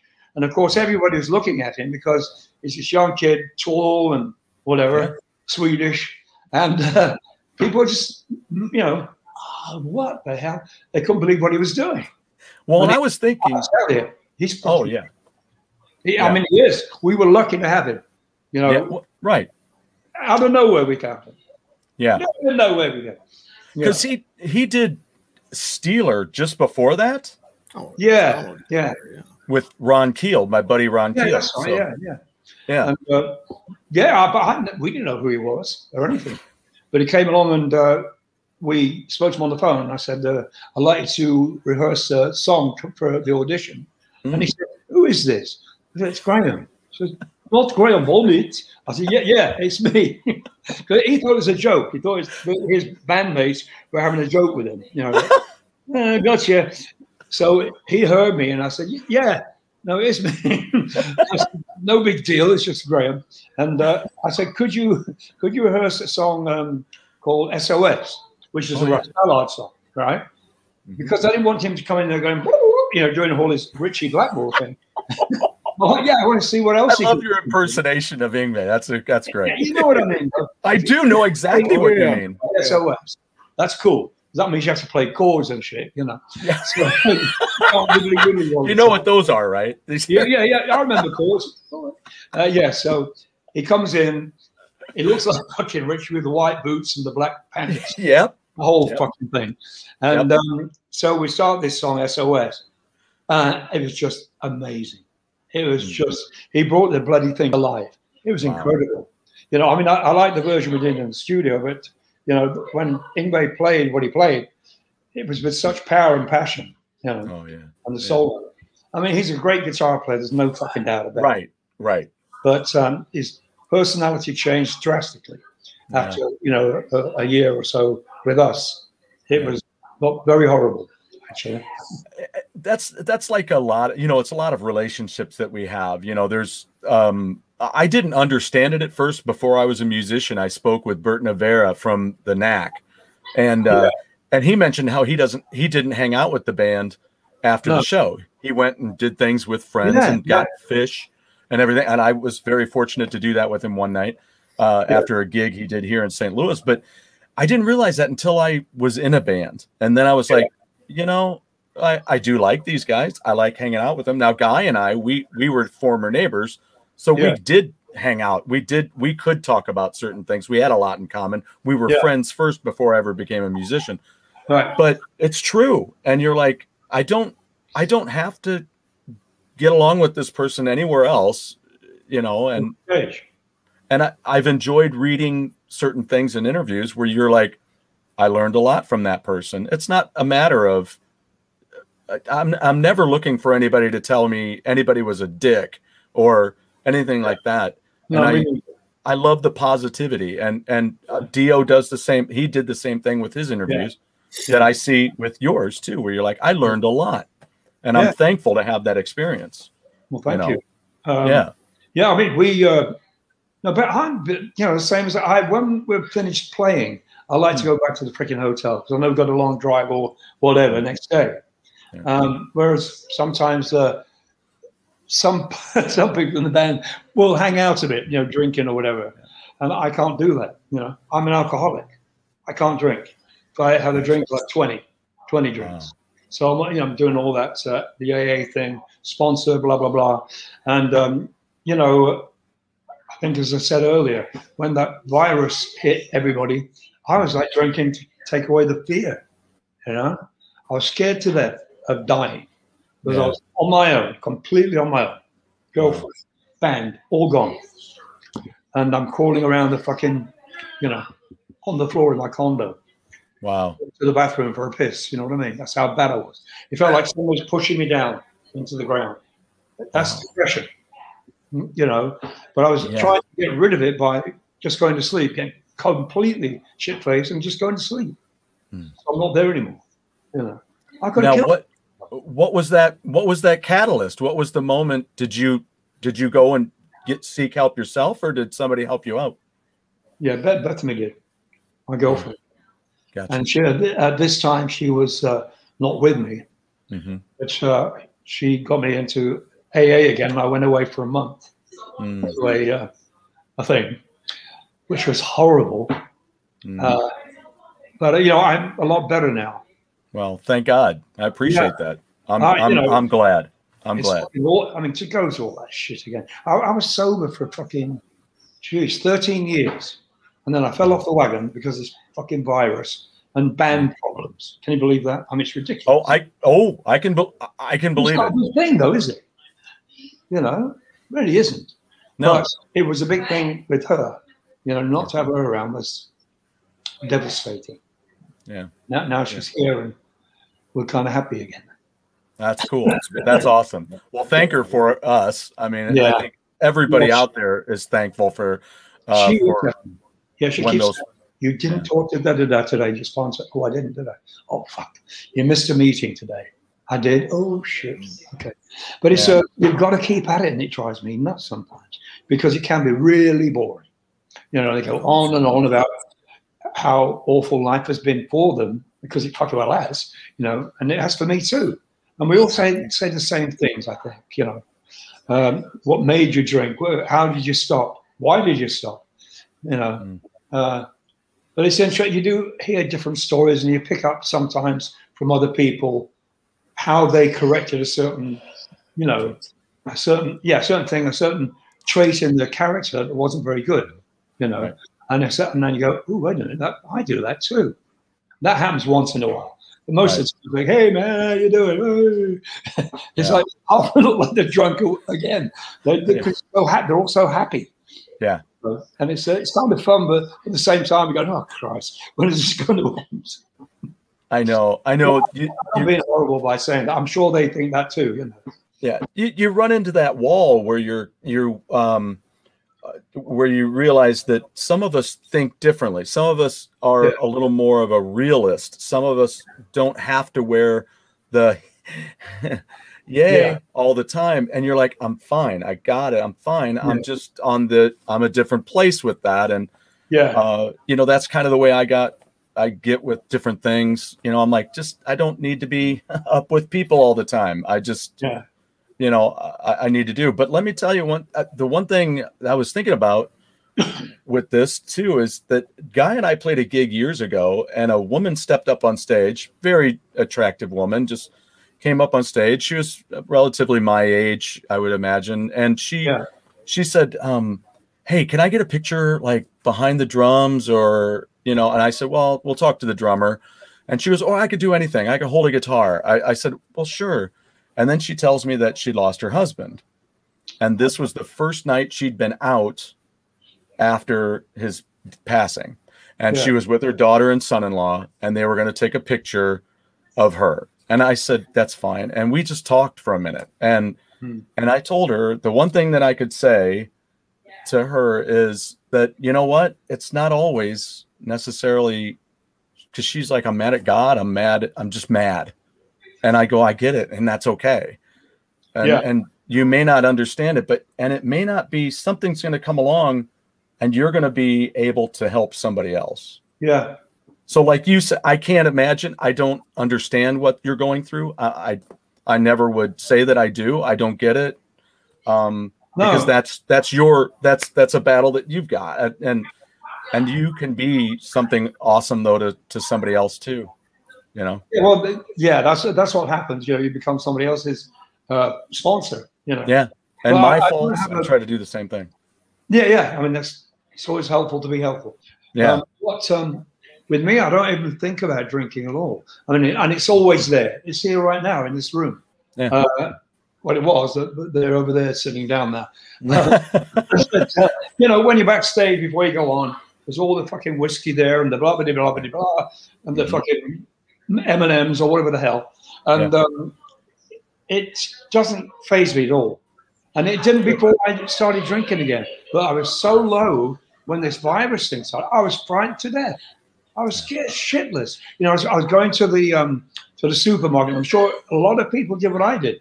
I go to the supermarket, buy a bottle of water like this, and wipe it down to make sure I didn't get any, you know, shit off of it. The oh, right. and don't touch your phone. Oh crap! I better wash my hands now, making sure everything was pretty clean. And uh, it just it got worse and worse and worse. And the only thing, as I said, the only thing I could think of was just getting fucking drunk Right. to sleep. Right. Yeah, which is totally wrong. It made me feel so bloody ill. Yeah. I'm, I- I had nights where I was like, you know what, gonna have margaritas till I just don't feel, you know, whatever. I just want to have, I want to chill out. And Yeah. then I was finding the same thing, just Yeah. in my little way.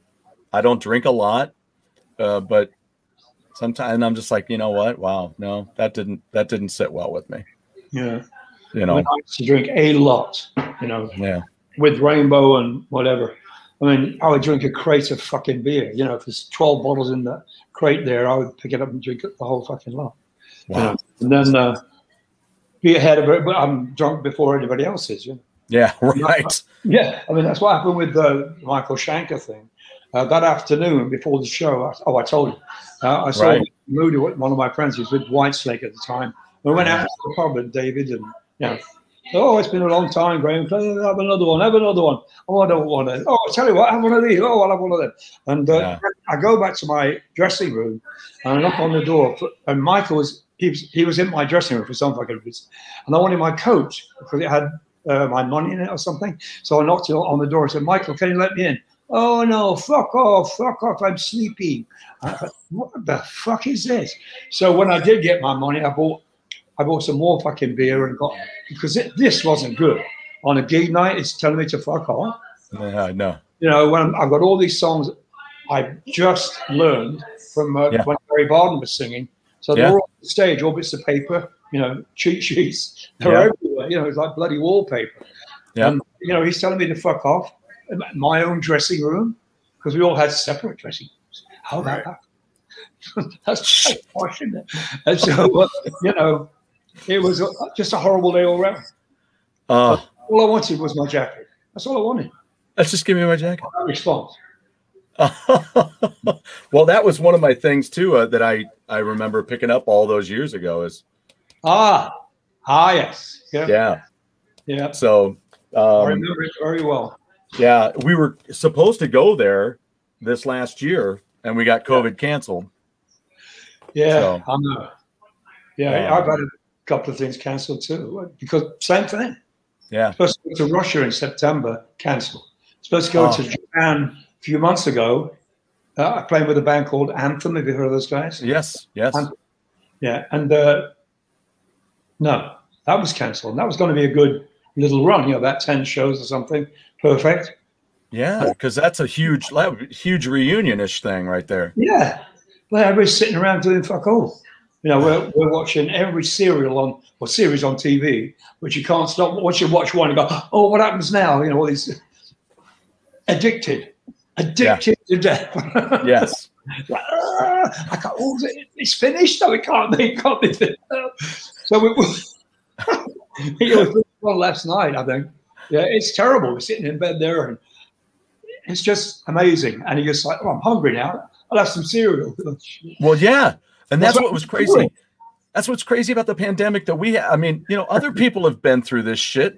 Yeah. You yeah. know, decades ago, centuries yeah. ago, and they didn't have Netflix. They didn't have shit tons of food in their house. They didn't have people delivering food to their fucking house.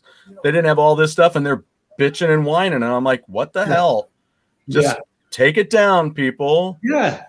It's I mean, a shitty time. Now, I get it. But now we're getting it back now, right? Mm-hmm. I, that's what I heard today. We're talking about it. Oh, what? What? Fuck. Here we go again. Get your mask out again. You know. But I, I always wear the mask anyway. You know. Uh, I the only times the only reason I'll uh, I'm not concerned about it. That's just me. Um, yeah, I'm not trying to be a dick. I'm just saying that my system is good. I've I've been blessed with a, you know, a, an immunity system that's really good, yeah. and I'm not concerned about it.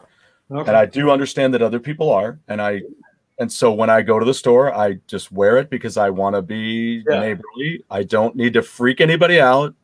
Yeah, it's not like they're asking me to get on all fours and crawl around the store. Right. Just put on a mask and get your shit and get out. Yeah. Did you have all you the know, shots? Did you have right. shots? Did you?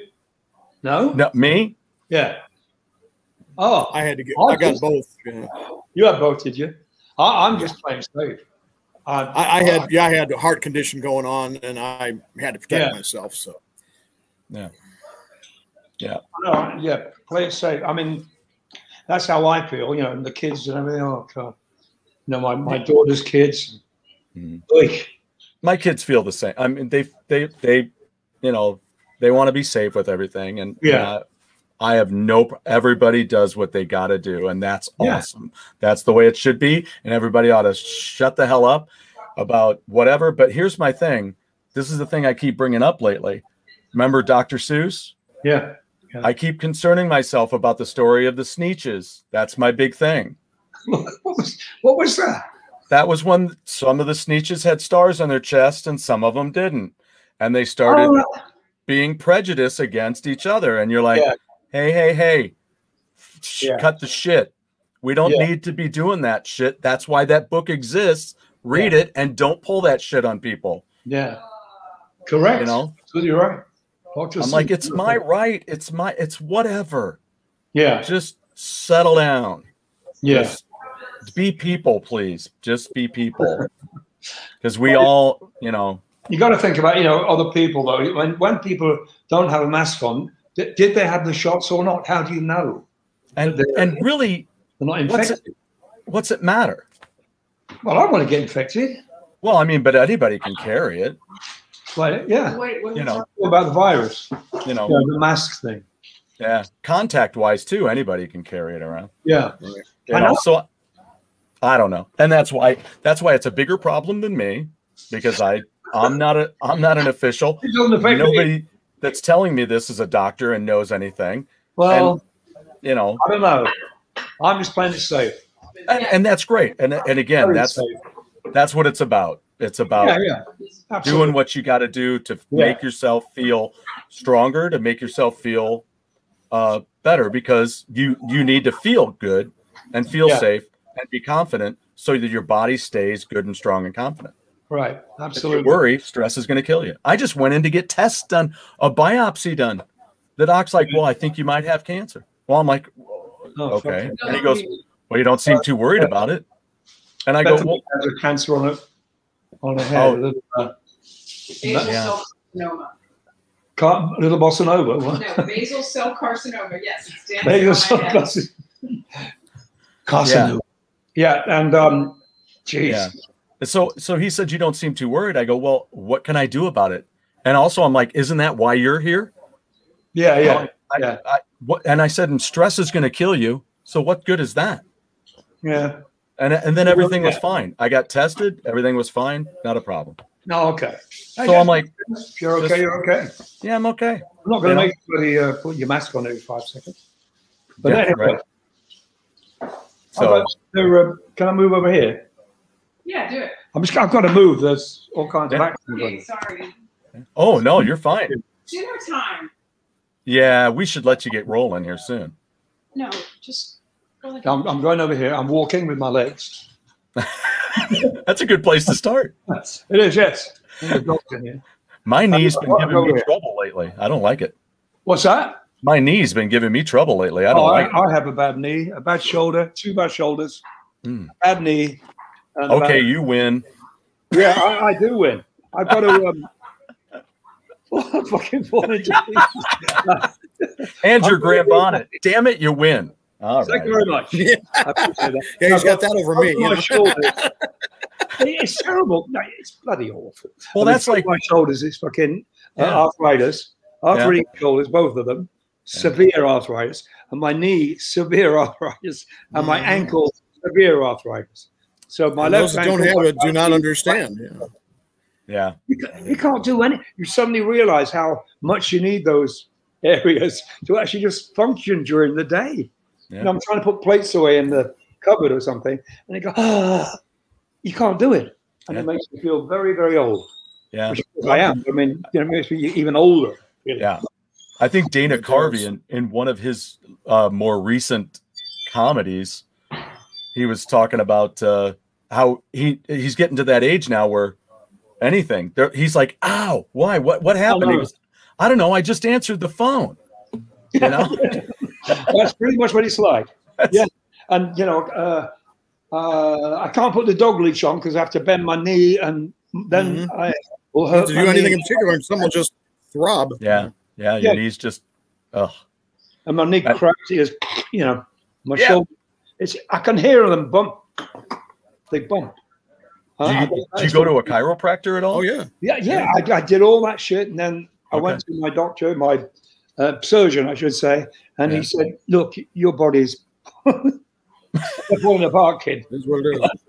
he said, "You got to have shoulder, shoulder, knee, ankle, all that done." So first of all, I think we get my right knee done because okay. it's bothering me. Yeah, you know, mine's my left. You get that? Same with you. Mm-hmm. Get that done. I think you'll feel more like a person. You know, uh, I have well, found you know, things that give me relief from the pain, and that helps a lot. I use yeah. CBD yeah. products. Yeah. You know, the CBD creams with turmeric and things like that, they really are magical. And yeah. better than any of the prescription drugs I've gotten to help that stuff out. They yeah, really, I, I, I've tried everything, but but it, I don't know what it is me, me and drugs, but they just don't seem to work on me very well. No. Interesting. Because of the past, I think. Yeah. You know, yeah. my body's become immune to any kind of fucking pill. Oh, no, yeah, yeah. doesn't work. Uh, gabapentin, that works. And that, which is uh, what Bethany's on right now to sleep. Great well, sleep. Yeah, Guy and I swear by Tiger Balm. I mean, we we use that a lot. Oh yeah, yeah, yeah. Gotta love Tiger Balm. Go to Walgreens, Tiger Balm. Mark, he's not gonna artist me onto that. They said this will make you feel better, and it does. yeah. yeah, we just need to get a tub for Guy and just dip him in it. Yeah, yeah. there you go. Yeah, so it's that old world. Yeah, and it's, it's amazing how short life is. When you sort of reach, when I reach great, now, yeah, yeah. 60, I wish I had a Tiger Balm jumpsuit sometimes. yeah, yeah. Yep. But the years go so quick, quick, really quickly now, and it's yeah. uh, scary when I when I think like in ten years I'll be eighty three. It's pretty I mean, trippy. Funny, is it? How can it's I be eighty three? That's stupid. That's stupid. hey, hey, happy birthday, Grim. What are you? I'm 83. Isn't that stupid? Yeah, it is. Yeah. I can't be fucking 83 in 10 years. I'm a bloody rock star, oh, man. I'm 83. but anyway, I let my hair go grey because I'm not going to the hairdresser, you know, barber. And as I said, it's growing. Look at it. Look at that. Yeah. Um, it's long as fuck. But I, I didn't want to go to Happy Cut because of um, the dreaded, you know, virus thing. Yeah. Well, and you know, no matter what Ritchie says, you know, you still don't ever have to go out a window to get your hair cut. Just no. use the door. That was such a made up story. It's so silly. I just, really I love talking to you about that and knowing that. Yeah, it's a load of bollocks. It really is. Man, Nothing and I got to keep that, that one handy too. It is a load but of bollocks. But he did walk off stage and hide behind the amps all night. That's just funny. And this morning we did have a, a meeting, a band meeting about my my hair. Aw. Yeah, he's a guy who I love his guitar playing and his writing, but I understand he can be kind of quirky. yeah, everybody's got something, yeah. you know. But I, I loved him. I got on with him really well. And most, you know, a lot of people didn't like him. He didn't mm. get on very well with Cozy, but I got on really well with him. And uh, I was surprised how many people thought he was nasty and straight. He wasn't really. He well, was. He isn't. No, and I, I think from what I've from again, hi, welcome to me forming opinions. I have no idea, but at the same time, you know, based on what you do here, it seems as though he, um, I don't know, almost had a an. It almost seems the stories show an odd militance about him, um, that you know, where he was almost pushing you I don't know, to be better or to be whatever in this whatever misunderstood way. Mm. So hmm. there's something like we say that's underlying that that he's like that. Well, and, and you just love them where they are, right? yeah. Mean, the only the only thing I could say about him is not that he was standoffish. He was very shy. He's very shy. Right. One of those people, like you know, when people ask him for his autograph and all that kind of thing, he would say, "No, I can't now. No, not now, not now." And of course, you know, when that happens, you go, oh, he's not very nice, is he? Right. You know, but right. that's what he does. He just doesn't like the showbiz side of it. He likes Not to signing yeah. whatever's. And I get that completely, especially yeah. in Japan. When we went to Japan, it was fucking Beatles time. Oh, yeah. Mm. Um, and it still is. You know, when I go there sometimes, I'm wow. this year, but anyway. Yeah, I've, I had I talking to somebody in Stryper one time, and they're like, "We showed up, and it was like we were the Beatles." And I said, "Yeah." Or he goes, "Like the Beatles or the Stones." I go, "You got to realize, to some people, you're their band. So yeah, to some people, you are their Stones or their Beatles. So yeah, not, yeah, isn't it funny? Yeah, yeah I can't. it doesn't register with me that. I can understand. I could get that. I could get that. Oh, yeah, met, recently I met um, uh, what's his face, Gene Simmons. Sure. And uh, I, I, I didn't want to make it. We were on, the, we were, on a, we were doing the same uh, show as a festival, and um, my, my, girlfriend and my manager at the time said, "Yo, we got to come meet Gene Simmons." Uh, I said, "Why? I don't know him.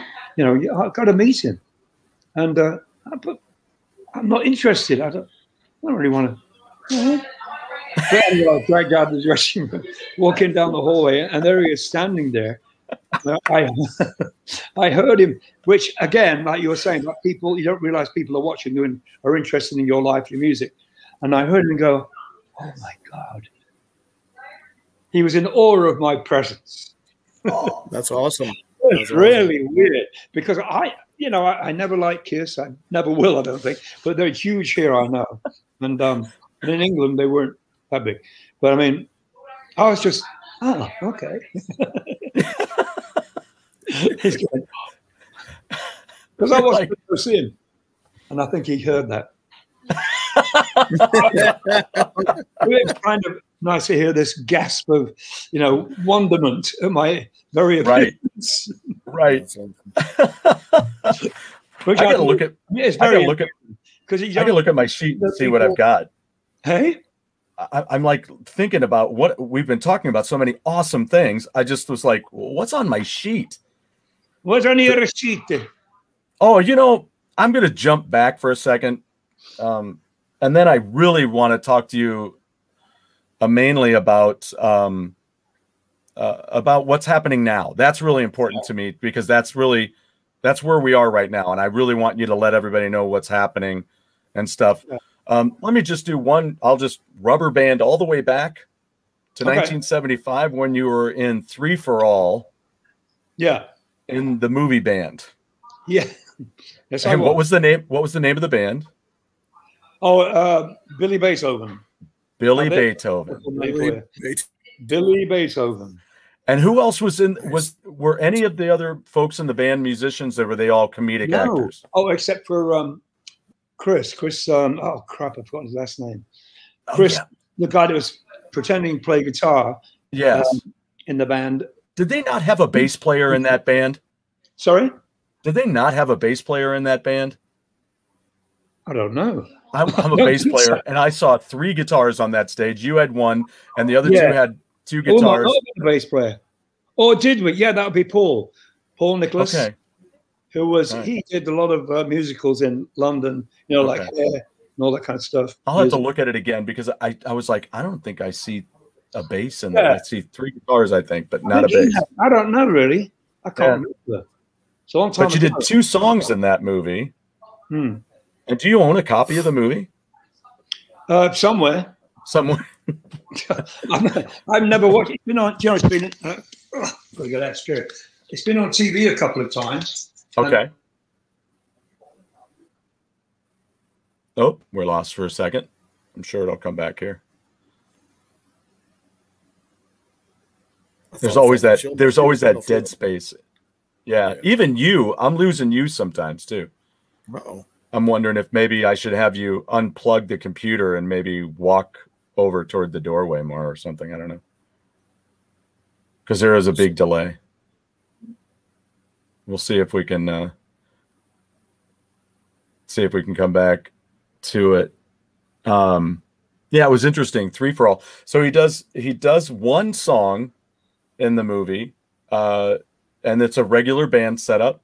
They're all looking, and all the the people in the crowd. The movie script goes. All the people in the crowd are like, "Yeah, whatever." There's a couple of people that are digging it, but most everybody's like, "Eh." I'll hope he, he I'm sure he'll come back. He'll hit the link. He'll come back. But then there's a, a follow up video that's on YouTube you can watch, and they come back out and they're all glammed out like the Sweet and the New York Dolls or um, David Bowie. They're all glammed out and they play a different song, and everybody loves the song. it's like woo! Everybody's digging it because they're all glammed out. So it was kind of kind of wild. So All the Uh, perception. yeah, Three for All is the name of the the, the movie. Uh, it's 1975. Um, and I'm going to take a look at this real quick here too, because it's something else I wanted to I want to make sure of anything else I needed to talk to him about before we went. Um,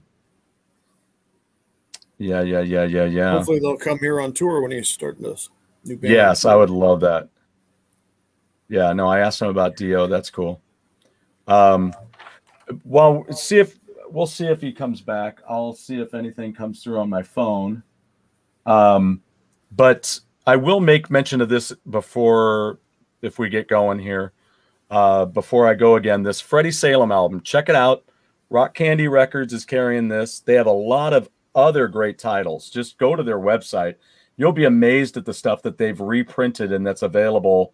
The Creed album, I told you guys about that, and it's still sitting right here. Why? Because it's worth it. So, this album is fantastic. Your friend Roger, that stayed at the house, had a copy of this on vinyl. Remember that guy? Wow. Yeah.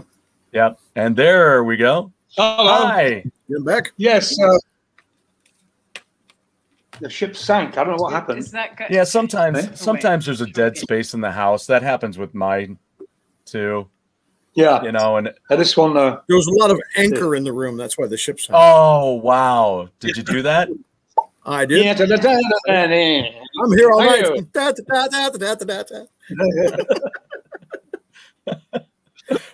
We usually say don't make guy contact. That's what we usually say. Oh, Rehearsals down in this basement are always a hilarious thing. We have such a great time. Yeah. We get more laughter out than we do rehearsing, but we still get our work done. But yeah, it's Yeah. always. Guy is guy is sitting against my first wall of shame, which is my CD collection. Um Oh yeah. in which you know there are many you know i haven't even put any of these up here in which there are many albums, uh, such as this. I've seen and it. uh, and It's what- what? this. And I love this original. Was this an original cover for this album? What album? This di- disturbing the peace. It had the woman with the gun on it. No, that's a redone thing. Okay, somebody did that. Yeah. Um, I don't know who did that for. Who did this? For, now, now here's the first Graham Bonnet record. Such a cool, see. cool cover. Cool James Dean cover. Yeah, I was going to say you got a very James Deanish attitude going on there. Yeah, I can't see and it. then uh, I can't there's see no it. bad habits. I know what you mean, but I can't see it. Okay, I got you. Um, And- minute. you've gone again. there, can you? Where are you? Oh no! The I screen's can- gone black. We can. s- Oh, okay. We can see you. Okay. I can't see you. We've got all this other stuff coming up. Hotel. What's this? That to me. What's happening there? Uh, What are you with? he's, It's going all yeah, you over got to the re. What did you You just got to restart, and some things are on the screen. No, I touched nothing. Got some pop ups. Did I? I didn't touch anything. Oh, hang on. I didn't touch anything. Oh, I didn't notice. Whose phone is it? Wasn't me, Mum. Wasn't It me. wasn't me, Mum. Sorry. What the hell? It's Well, we're glad to here. see you. Well, yeah, yeah. No offense, Graham, but she's a lot prettier. Oh, oh, I'm on camera. I'm on Oh camera. no! You're being broadcast worldwide now. Oh no. Our millions of viewers. Are, no, that I really, truly, I would have put no, makeup it's and Yeah, me too. you too. can't fix perfect. That's what I always on. tell Oh my my god! lady You friends go, are talking about makeup. you. Thank you. wait, I wish I could see you because I love you. You're Oh, pretty lovable. Wait, I'm very let's see what- squishy. What'd she say? He's very squishy. Oh, he ain't lying. I always say soft and squishy. Um, ah! hi. Hi, Hi. Hi. right then. Oh, there you go. There you go. That's a good picture. We like it. Thank you very much. Anyway, as I was saying, or you were saying, yeah, whoever was saying. yeah. Um, uh, let's see. I just wanted to make sure uh, we were just talking about the movie. I said, "Do you have a copy?" You said it's on TV sometimes. yeah. How so? Um, and you have two words. You have a two-word line in that movie, right? Oh, me Tarzan. Yeah. Yeah. It take a long time to memorize that. uh, a while. and the rest of it is uh, they d- did a whole reel or whatever of me going, what? Hmm. Yeah. what do you mean? so they could interject that wherever they needed it. reaction, reaction shots. They didn't want to give me a part because they didn't think I could act. Because at, my, at that time, my, my ex-wife is in that, the blonde girl, Yeah, Adrian, right? Adrian. And, uh, you know, her being an act, well, acting and being on stage, whatever, it's all the fucking same. It is the You same. need to be someone you're not, you know. Yeah. So I would have been okay, but they didn't, they didn't believe me. Hey, a lot of musicians are frustrated actors, and look how many actors are actually decent musicians. I mean, You know, it all goes together. that's not true. Yeah.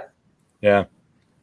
Um, uh, how did um, how did you guys do with your transitions through Alcatrazz, and how has that affected what you're doing now with Alcatrazz? Tell us about, and and then also, I suppose I know this is a long moment, but weave in if you can the distinctions between you smartass. Weave in Time's up, buddy. Point number nine. Stuart, how do you Stuart, how do you deal with these moments in a show? Well, one word, fucker. Um, so that was your that was your Dio moment, right? Um, there you go. Um, so and and and how how what's going on with the are there two Alcatrazz factions going on right now? Alcatrazz.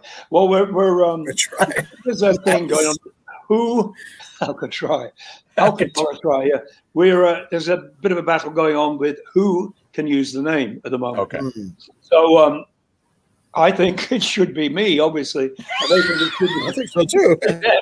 So they have a new singer, and um, they've made they're making an album They put out a uh, video, I believe, on YouTube. I haven't seen it, but they want to keep them. Our manager fired himself. This is what happened. He fired himself and said, I'm walking away from this. I've had enough of all the bickering between everybody. And uh, I thought, oh, okay. So he's gone. And then I got in touch with other guys saying, we'd better get ourselves another manager. And suddenly I find out those guys want to stick with the guy who just fired himself. Right. Very, very friendly with one of the, with our keyboard player. And so mm. they, they had something going on. Uh, I don't mean anything sexual or anything, but you never know.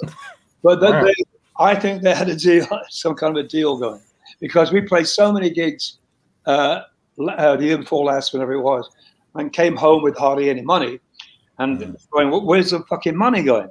So I think merchandise is being sold behind our back, along with other things. Yeah, it's a bit suspicious that uh, the two of them are now trying to um, get the name Alcatrazz copyright. You know, so we're mm. doing the same thing. And uh, I don't mind sharing the name with them if they call themselves, uh, you know, uh, Jimmy Waldo's Alcatrazz, but it won't do anything. So oh. I can do, so I can say uh, Graham Bonnet's Alcatrazz or Alcatrazz with me, you know, whatever. But to, to use the name on its own, I don't think either of us can do that. You right. should call it the real Alcatraz, the inescapable the Alcatrazz. Exactly. Yeah, I, I might as well because it's um, they know that hello that uh, the dog's here now. All right. There you go. Right, here, so in case you want to see. Oh, look at that. That's Lucy. Sweetheart. Lucy. Lucy, babe. Lucy. Yeah, that's her. And um, what was I going to say? What was I talking about? Uh, you were talking about the the Alcatrazz. Oh, the Alcatrazz. There'll be, if possible, that's how we'd like it to end up a nice, peaceful settlement where they can use the name but you know, say the Alcatrazz, blah blah blah, and right. I can use Graham Bonnet's Alcatrazz, and they can use whatever Alcatrazz. Yeah. Alcatrazz. If you ever need a new band name, Graham, I keep a stockpile oh. of absolutely brilliant ideas. Don't don't don't, don't do don't do it. You see the sort of guy that does that. You know my, my, latest one. Are you ready for this? Is yeah. fallopian tuba. Oh. What? fallopian tuba. Fallopian tuba. Don't do it. Don't do it. Was that song? it could be. I tell people that's what I play now when they ask me, "What do you play?" Fallopian tuba. God. Are we all, I, I think we're all kind of silly here now. this is this is where the plane starts diving. You know. yeah. This is no. This is when George Kennedy starts freaking out. No, we're done. Um, as, anyway, as I was saying, there's going to be the hopefully the two Alcatrazz, if they win the case, so be it. But yeah. um, I don't think they will. But if we can share the name, that that'd be great. nobody's going to get pissed off with anybody. Yeah, what's so hard about that? I remember when uh, I saw BTO twice in the same yeah, yeah. because Tim exactly. was touring with his group, and then the the the formation of the group that I really grew up with on um uh not fragile that was the then they came in and I was so thrilled to see that that yeah, lineup yeah. and that was brilliant. So people do it. Ron Keel's wishing that Marc Ferrari would go out yeah, and do Marc Ferrari's Keel. But what they're doing is a bitter, it's a bitter feeling. They're, they're just like, well, Graham walked away. I, I just find myself. I, I don't want to play with these guys if uh, they're going to have this our old manager back again because he was screwing us up. And I, I, as I said, one of the band members, I think, had a bit of a thing going on where they were screwing the band out of the money. Not we made billions of dollars, but you know, you make what you can. I mean, these days, you know. But so, so, you know, I just want it to be, as I said, like a peaceful thing. I, I don't want to play. I, I, want to start a new Alcatrazz with Jeff Loomis and um, other people. I'm not quite sure exactly who yet, but I've got a few other people in mind that'll be a stronger a band, you know. So yeah, I mean, no have, doubt Jeff playing as well. Do you have a solid drummer at all at the moment? So we got a couple of guys in mind, but I, am not sure yet. Yeah, okay. and we have a keyboard player, uh, but it's sort of like I don't know yet because it's early days. So because the way it's going to start off is me and Jeff doing the album after we've done the Graham Bonnet album, and uh, then we'll think about who's going to play on the fucking thing later. Because for the tracks, obviously, we can use anybody. I don't want Yeah. it to be the way, but right now, I think that's all we can do. Well, I'll tell you Unless- what, if it was, it was yeah, I mean, me, somebody comes in and said, "Yeah, I really like to do this Right. and stay with the band, not just make an album, do Right. the whole freaking thing, that's as well as the one. keyboard player too." Yeah, that's a tough one, man. Because I'll tell you what, if I could throw a name in the ring, I know exactly who I'd tell you to use for drums. But they're Oh, yeah. doing the adulting thing, and they can't. You know, they wouldn't be able to break away for all of that. You know, Right? Because it's it's Guy's son is who I would tell oh you to my use. God, yeah, he's fantastic. because not only is he an amazing drummer, like uh well, I I always liken him to uh well, I can't think of his first name, uh Mr. Chambers um from Niacin. oh, oh, oh, yeah, Uh Yeah. I've got it right here. I can't think of his name either. Yeah, my son is not because he's my son, but he is just an amazing drummer, and he He is one of the like I greatest do. drummers out of St. Louis, is what he is. Yeah, he plays with the St. Louis Symphony a couple times a year for special shows, things like that. Yeah. He's really good. Well, I'll keep that in mind. No, well, we do have please. two drummers that I can't remember who the fuck they are at the moment. We have two drummers that are I just thought of another band name if you want to use another prison name. How about Rikers Island in the Sun? exactly That way people know it's you. It's, I- Island in the Sun. that fucking name forever. I don't care about the name Alcatrazz. But you see, the only thing the, those guys have is the name. They don't have Yeah. the music because Right. Don't, I wrote. they the don't have you. They don't have Yngwie. They don't have Steve Vai. It's not going to No. be like it was. you know? Exactly. I mean, I wrote the bloody songs with Yngwie and with Steve, and you know, that was it. I mean, we didn't get very far with the Alcatrazz albums. Oh, Danny Johnson, third. The Yeah, third Danny there you go. Johnson third album, which was terrible because that was when the, the th- whole band came to a drastic end because we're asked to do you know cover versions of things, and it wasn't the mm. same. It was not Sure. Right. you know, be radio friendly. You know, Graham, can you write some lyrics that people can understand? What? So- But people so- do understand. They just got I to love your lyrics, man. Your lyrics just blow me away. understand. Yeah, it's just writing. It's just Yeah. you know writing a bloody letter or something. It makes Right. no sense. There's nothing mystical about it. No. But because it isn't like like through the soul from the yeah whatever you know that sort of fake medieval doodad. With you don't have to decipher what you write, but at the same oh. time, it's very thought provoking stuff. And I Yeah. like that about your lyrics. You, know, Yeah. you tell a story and you do it very well and with such emotion and passion in your voice, it just makes it come across a I sing along with you all the time in the car, man. You're one of my Oh. go-to guys, you know. That's, Well, that's why. I, that's why I'm eager for Guy. I'm eager for you to listen to those first those first two solo records Yeah, I wanna hear because 'em. yeah. um, because you, you really get the you, you get the things that we who love all the heavy music and have Mm. have gone through this career of yours through you know all these bands that we've been talking about but you there's such uh like Glenn Hughes you know he's got that other side to the yeah, yeah. power and glory in his Yeah. voice there's that other side and you really get a lot of that in those albums and the songs are so well put together Yeah, they, I agree. I mean, I I've had great fun making those albums always because Yeah. I can I imagine. played, you know, Uh, me too i can imagine so fucking good. I was I'm never nervous of anything going going wrong. Well, not too much anyway. I mean, just just just the best, you know. yeah You know, Yeah. Jon Lord, etc. You know, I mean, Cozy, John, Don Airey, uh, oh fuck, Micky Moody, and on and on, and the list goes on.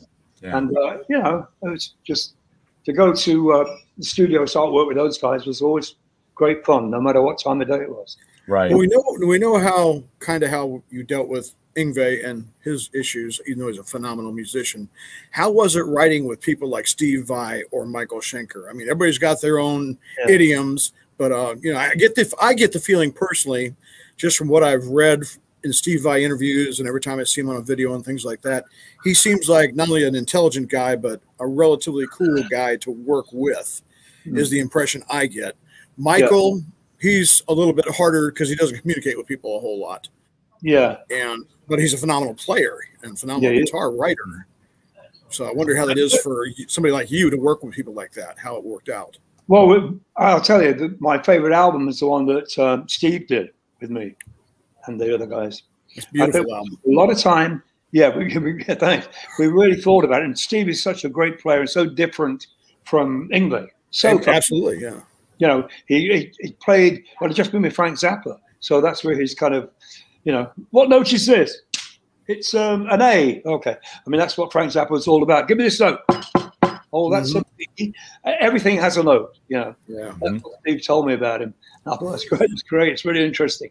And he had that, that sort of avant-garde way of playing, and that's that fits me perfectly.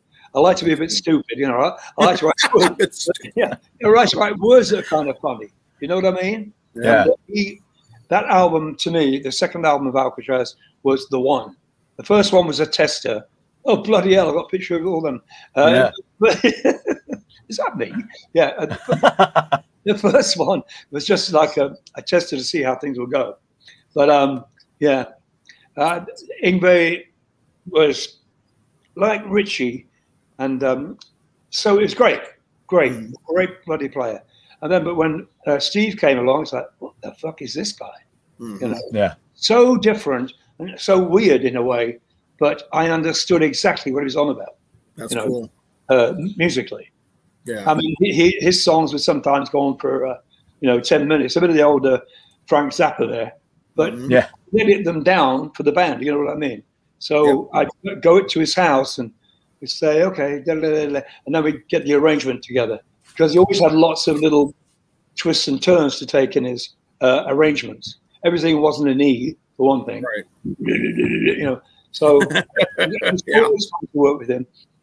And in fact, I know for sure that he likes that album a lot too, the one we did together. Cool. Uh, I He's think just incredibly musical. Yeah, it, it's. I think it's my best, personally. Cool. Vocals. Is that right? What else? Words. I mean, the other ones are okay, but this one yeah. I was really excited about. You know, yeah. great fun making it as well as mm-hmm. you know performing. Yeah. I, I think that it that that first album had so much awesome power in it, and yeah. uh, and then it that the next record just uh, had a little bit um, a uh, little more technique in it, just a little. You know, there was yeah, and yeah. it was it was punchier uh, in a different way. You know, yeah. um, and Wire in the Wood. It's just, I mean, all of these songs are just, just. Yeah, uh, it was a brilliant follow up record. So I mean, you know. Well, I, I think so too. I yeah. think so too. You big yeah. son. Uh, yes, I know I am. Uh, yeah. Thank God I didn't have to say it. Split personality. I didn't tell you that. Uh, what? Yeah. Okay. Um, yeah. So I, I, agree with you because I really enjoy that. And I, do you know who's the best? What, what used to be the best tester of some good songs? My mum and dad. So I, I played some tracks that, that me and Steve had done. They were over to visit and uh, when I was making that album with Steve and the rest of them, uh, they were over to visit, and I would take the tapes, you know, rough mix home, and play them to mum and mum and dad, and to see what they would say. It doesn't sound very, does it? But but, but your mum and dad are very honest. Oh yeah, they are. You sound horrible on that, but every Graham, what the fuck are you doing? But every track. they probably broke down and like, shit, son, you've got it right. Oh, this is right. Oh, bloody hell. Why are you singing about a girl dancing on a pole? Exactly. but uh, they, I would play it to them and they would listen. And I go, what do you think? And I got every time they would say, oh, yeah. And they loved Steve. so when Steve would come over, they were just, I said, Dad, I said to my dad, he plays like this, you know, says that he plays guitar like a piano uh, which he sort of did. I'd never seen that before back then. You know, yeah. uh, probably uh, you know Van Halen, but you know, yeah. he, he, did. But Steve's way of playing was totally different, oh, even yeah. though yes. the same. it was something so, special so about it. Yeah, especially yeah. chord progressions.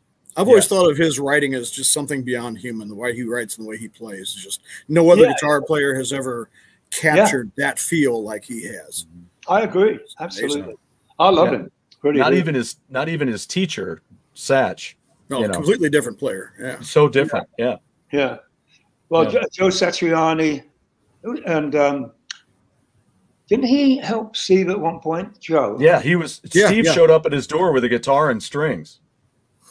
Oh yeah, so and, this is an old story. Yeah, a long while ago. Uh, yeah, yeah. so, anyway, uh, is that it? what are we talking about? Yeah. one of my favorite, you know, you mentioned about Steve doing, and I hate, I don't, anyway, one of my favorite Steve Vai stories, and it's out there on YouTube, is when he was auditioning for Zappa and he had him do some chord, you know, arrangements and whatnot. And he said he got into one and he goes, All right. And he goes, Now do this. Now I can't remember what it was. I'm not that technical, but he goes, Do this. And he goes, So the thing about it was, it was physically impossible to do this. And yeah. he said, So he's like, You know, I couldn't do it. And he said, I'm walking through the room. I put my guitar, I think he said he put his guitar away and he's walking through the room. He goes, I'm, I'm sorry. I, I couldn't, you know, I couldn't just, I don't know. I couldn't do that. And he goes, It's okay. I heard Linda Ronstadt's looking for a new guitar player. wow. And, and he's like, What? And he goes, No, you got the job. You're fine. You got it. You're good. One of I, our. I, I, remember when I remember the first night playing with him uh, in LA somewhere, and um, he was he was shit scared, and I'm glad you know his. Hard to imagine. His, yeah. I can't go out there. I can't play like Yngwie. I said, no, you play like Steve fucking Bias. Exactly. You know, but you know, we did all the Yngwie songs, kind of thing. Yeah. You know, Hiroshima, Mon Amour, and all that. Yeah. And he just said, "I'm not not good at that," but he was. He was perfect at that. Dude. Well, yeah. It, it, didn't matter if he played exactly the same notes, but he played it very, very well. Mm-hmm. Well, well, look, what happened? He became Steve Vai, you know, fucking guitar god. Yeah, yeah, exactly, exactly. Well, and, and let's face it, all you, is, all you, gotta do is, look at him and go, you know what? Everybody on stage with you doesn't want you to play like Yngwie. Exactly. yes. We'd, we'd oh. rather not be walked all over all night long.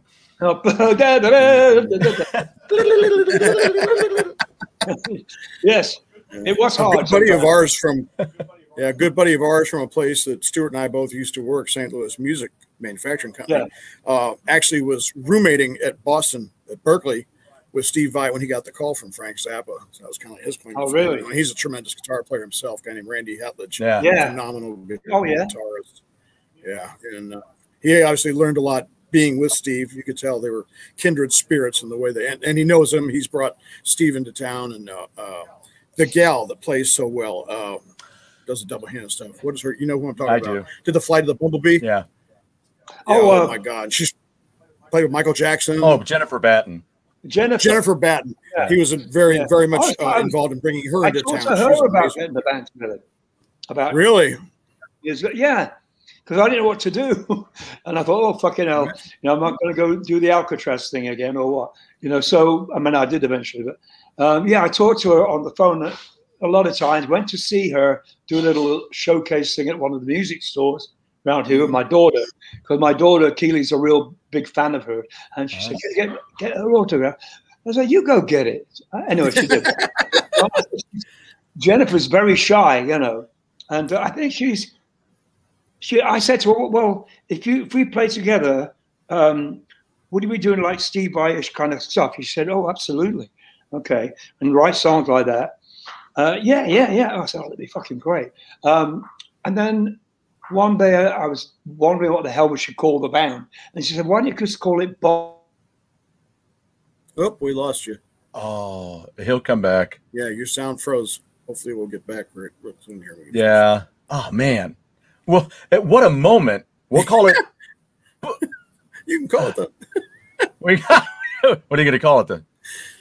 That's a Joe. Oh my god, oh, that's hilarious.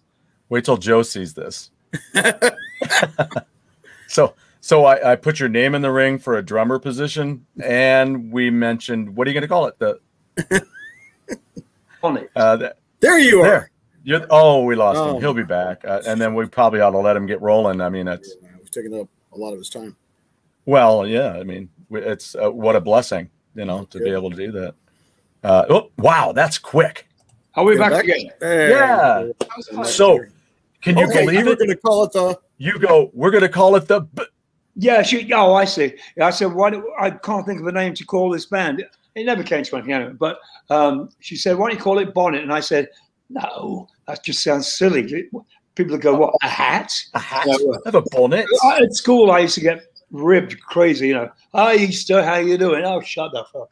You know, oh, Easter, oh, that's rude. Bonnets, you know.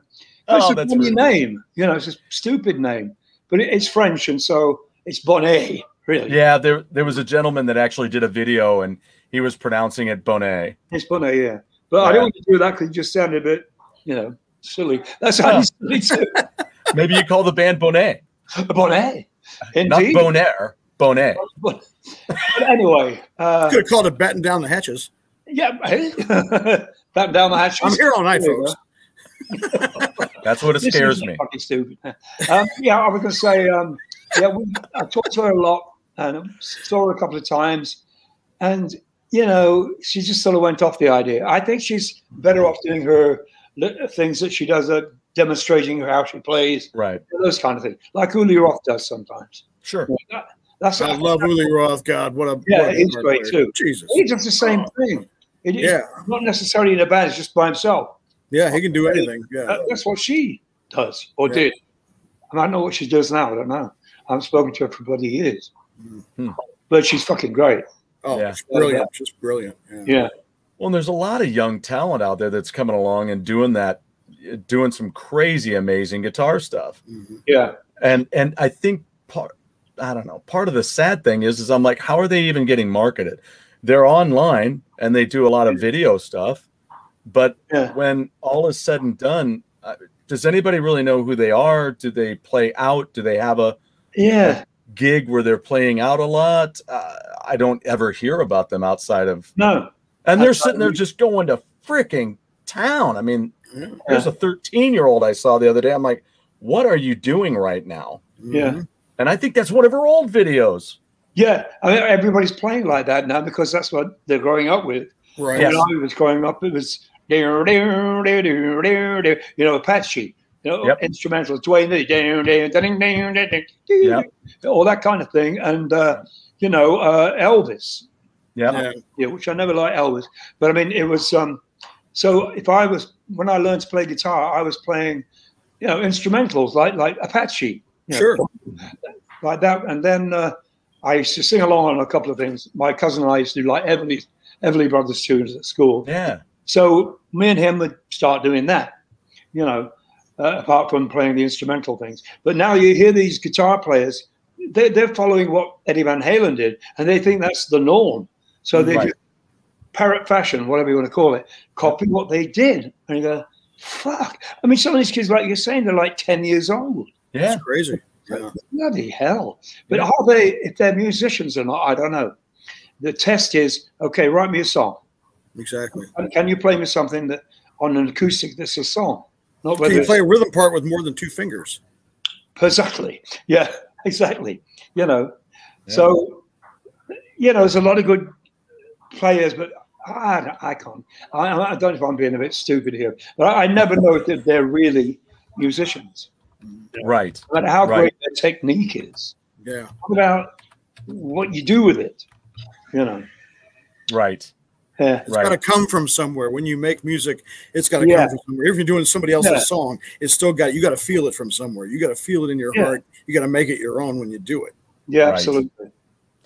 Um, you know, somebody else that you worked with too is this gentleman, Dario. Dario. Yeah. Um, and he's worked with a lot of people, uh, too, mm-hmm. other people as well. And he's worked with uh, yeah. Hughes. Yeah, that's there you go. Yeah, Tony as well. Yep. Yeah, yeah. He's he's another great arranger of songs. He's amazing. Great guitar player, great person. I love him. He wrote yes. a song for um wait a minute. Yeah, he, he wrote a song for the last Alcatrazz album. Really? Uh, Very cool. Yeah. I mean, he wrote a song. Well, I did with him. Um, but uh, he's a great. We went on tour, me, him, and Don Airey. Went out as a Don Don Airey GB band, Graham Bonnet band, with Dario playing guitar. Very wow. cool. And uh, the bass player from a band called Thunder. Uh, yep. Have you heard of them? Yeah, oh, yeah. Harry James, the drummer. So we had the bass player from Thunder, Chris Chris Childs, and Harry James, the drummer. So it's wow. pretty good good fucking musicians there. Yeah, it's probably. And, uh, we went out, you know, with Don playing, and you know, we're doing whatever you'd expect. You know, what what you know we play since you've been gone, and all night long and Right. uh, Lost in Hollywood, blah blah blah blah blah. Wow. All, all the well-known songs. yeah. for a while, you know. And then, uh, but of course, Dario went back to Italy, and then he started playing this. Then I went over to Italy to play with him a few gigs with his band, and uh, eventually it sort of just fizzled out like it does after a few years. Yeah. Yeah, he's great. He's really great. Wow.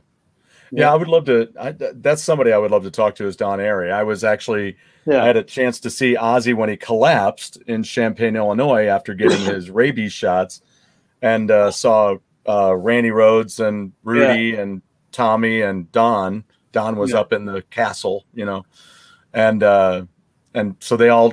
He came out and was gonna. He did over the mount, two and a half words, and dropped to the floor.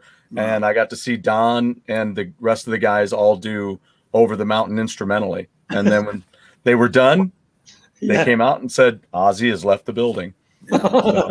So there was a lot of pissed off people, but you know, Don were. is a Don is a really uh, a, an amazing talent, obviously, and has Oh, yeah. what a great career he's had too. So Just had a birthday Yeah. a couple days ago. he sure did. Yeah. yeah, he's, he's on this this album. Uh, he played Very on the good. Graham Bonnet album. This one we're doing right now. He's on. Uh, he's got. Uh, what he played on one track, and Okay. he's playing on. It's fucking hell. You can tell it's him. Him and Jon Lord. My- Oh, my- right. Those two. Yeah. Uh, but Yeah. Don, you know, Don obviously is he and I are very close. Uh, we go to That's see him if we go over to England. Always go and see him, and uh, stay at his house probably most of the time. He's a such a great ordinary guy. Mm, I like people like that. yeah. No hey, most of the uh, rock star people that I've met that you know I, I get along with, they're that Yeah. way. They're just like talking to your neighbor over the fence. You know, it's Yeah. really, really cool. Adrian uh, Belew, sensational musician who's worked with Eno and Bowie and yeah, Talking Heads and everybody. He, I met him at my first NAMM show, which was the last one in Chicago back in the '80s, and then I got to do backstage security for him here in St. Louis at a little club. Backstage security was the staircase going to the stairs and the parking lot. And I re-met him oh. then, and he signed my guitar. And just a gracious guy, just a super right. sweetheart of a man, Oh, he- and a genius musician. Phenomenal. I mean, what goes on in his head, I have no idea where it comes from. He comes up with some he great was playing classically. You know, I mean, Yeah. I, when when I go to his house, he sometimes gets on the piano when I have my acoustic, and he starts playing all this fucking stuff. Go, bloody hell, man! It's just incredible. playing, you know, the two keyboards at the same time and the blah, blah. Yeah. How do you do that? Because I'm fucking clever. That's Yeah, right. You know, and Jon Lord and him, they're peas in the pod, really. They get, always they get, Jon Lord. on so well. Poor John, I, I know, he's a funny guy, funny man, fucking amazing musician, amazing. Him and Don, the best. Yeah. And were you working at one point? Uh, this is just an aside. You were working. You uh, had a project you were working with with with him and Cozy, or do I have that wrong? Uh, no. no, no, Okay, we- not a problem. I just a different thing. I'm I must have misread something. I Um, just yeah, I mean, he, he Cozy was on my albums. So, yeah yeah But uh, we didn't do anything live with him at all. Okay. No. Okay. Or an album, come to that. yeah yeah. It's, it was an amazing keyboard, amazing keyboardist. Just uh, uh, and like you said, I, he's somebody I wish I would have met up with. Yeah. Because I've seen some interviews. Sounds like a, a really cool, real cool guy, like Dave. Grohl. I'd love to meet Dave Grohl. Yeah. You know, I mean, people are always surprised that you're just a, a person. Like, Yeah. what do you mean? you're just an ordinary bloke. I said, yeah. Everybody's an ordinary bloke. that's Walk out it. and pick up the newspaper out of my sidewalk every morning. Hmm. That's it. I- I'm sure we all leave a piss every morning. You know, Yeah. that's At least. Absolutely. But it's funny. I my uh, years ago when I lived in my hometown in England, uh, we had a little band, and I just was playing guitar and uh, with this guy called Keith who was singing. And anyway, that that little thing ended, and I moved uh, to London, and uh, and I had this hit record uh, with my cousin, and I saw Keith in the street, and he came up to me and he said, "I used to know you." I said, "What?" He said, I used to know you. I said, I know you did. You my Keith. What the fuck's up with you? I'm Graham, for fuck's sake. She said, yeah. but you're all famous now. They expected I would be completely different. And you don't Wow. change You're, you're No. a person, you know. That's what at it's- all. Yeah, yeah, yeah. So, you know, it- and it was just weird for him to say that. I used to know you. Yeah. well, you probably still do. He probably does. Yeah. You're right. haven't changed Yeah. that much. Funny. Yeah.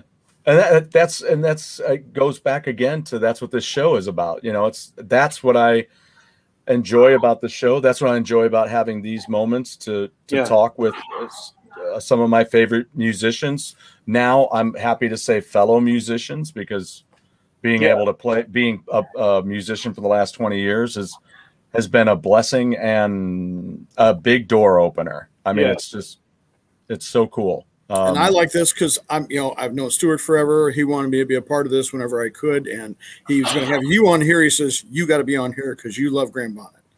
And Yeah. I've listened to you forever. I've admired you forever.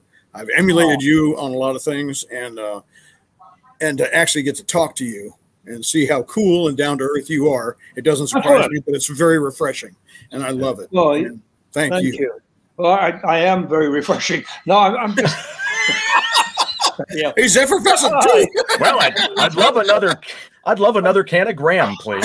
it's so refreshing. Yeah. I, I'm. Uh, what, what, do you- what do you call me, Beth-Ami? Oh, Beth-Ami says, always says, um, you're such, such a charming person. People love talking to you. I said, Absolutely. really? You're fucking kidding me. Tell him to I- I piss think off. Right, because I'm not. Uh, I have no airs and graces. I really just am me. That's it. Yeah. That's all we can be. Uh, absolutely. But Yeah. except that other guy, my uh, my split personality. What? that Yeah. guy, yeah. Yeah. You well, know. yeah. All right. Wait a minute. Wait a minute. Uh, yeah. No, but it's uh, it's a pleasure to talk to you guys.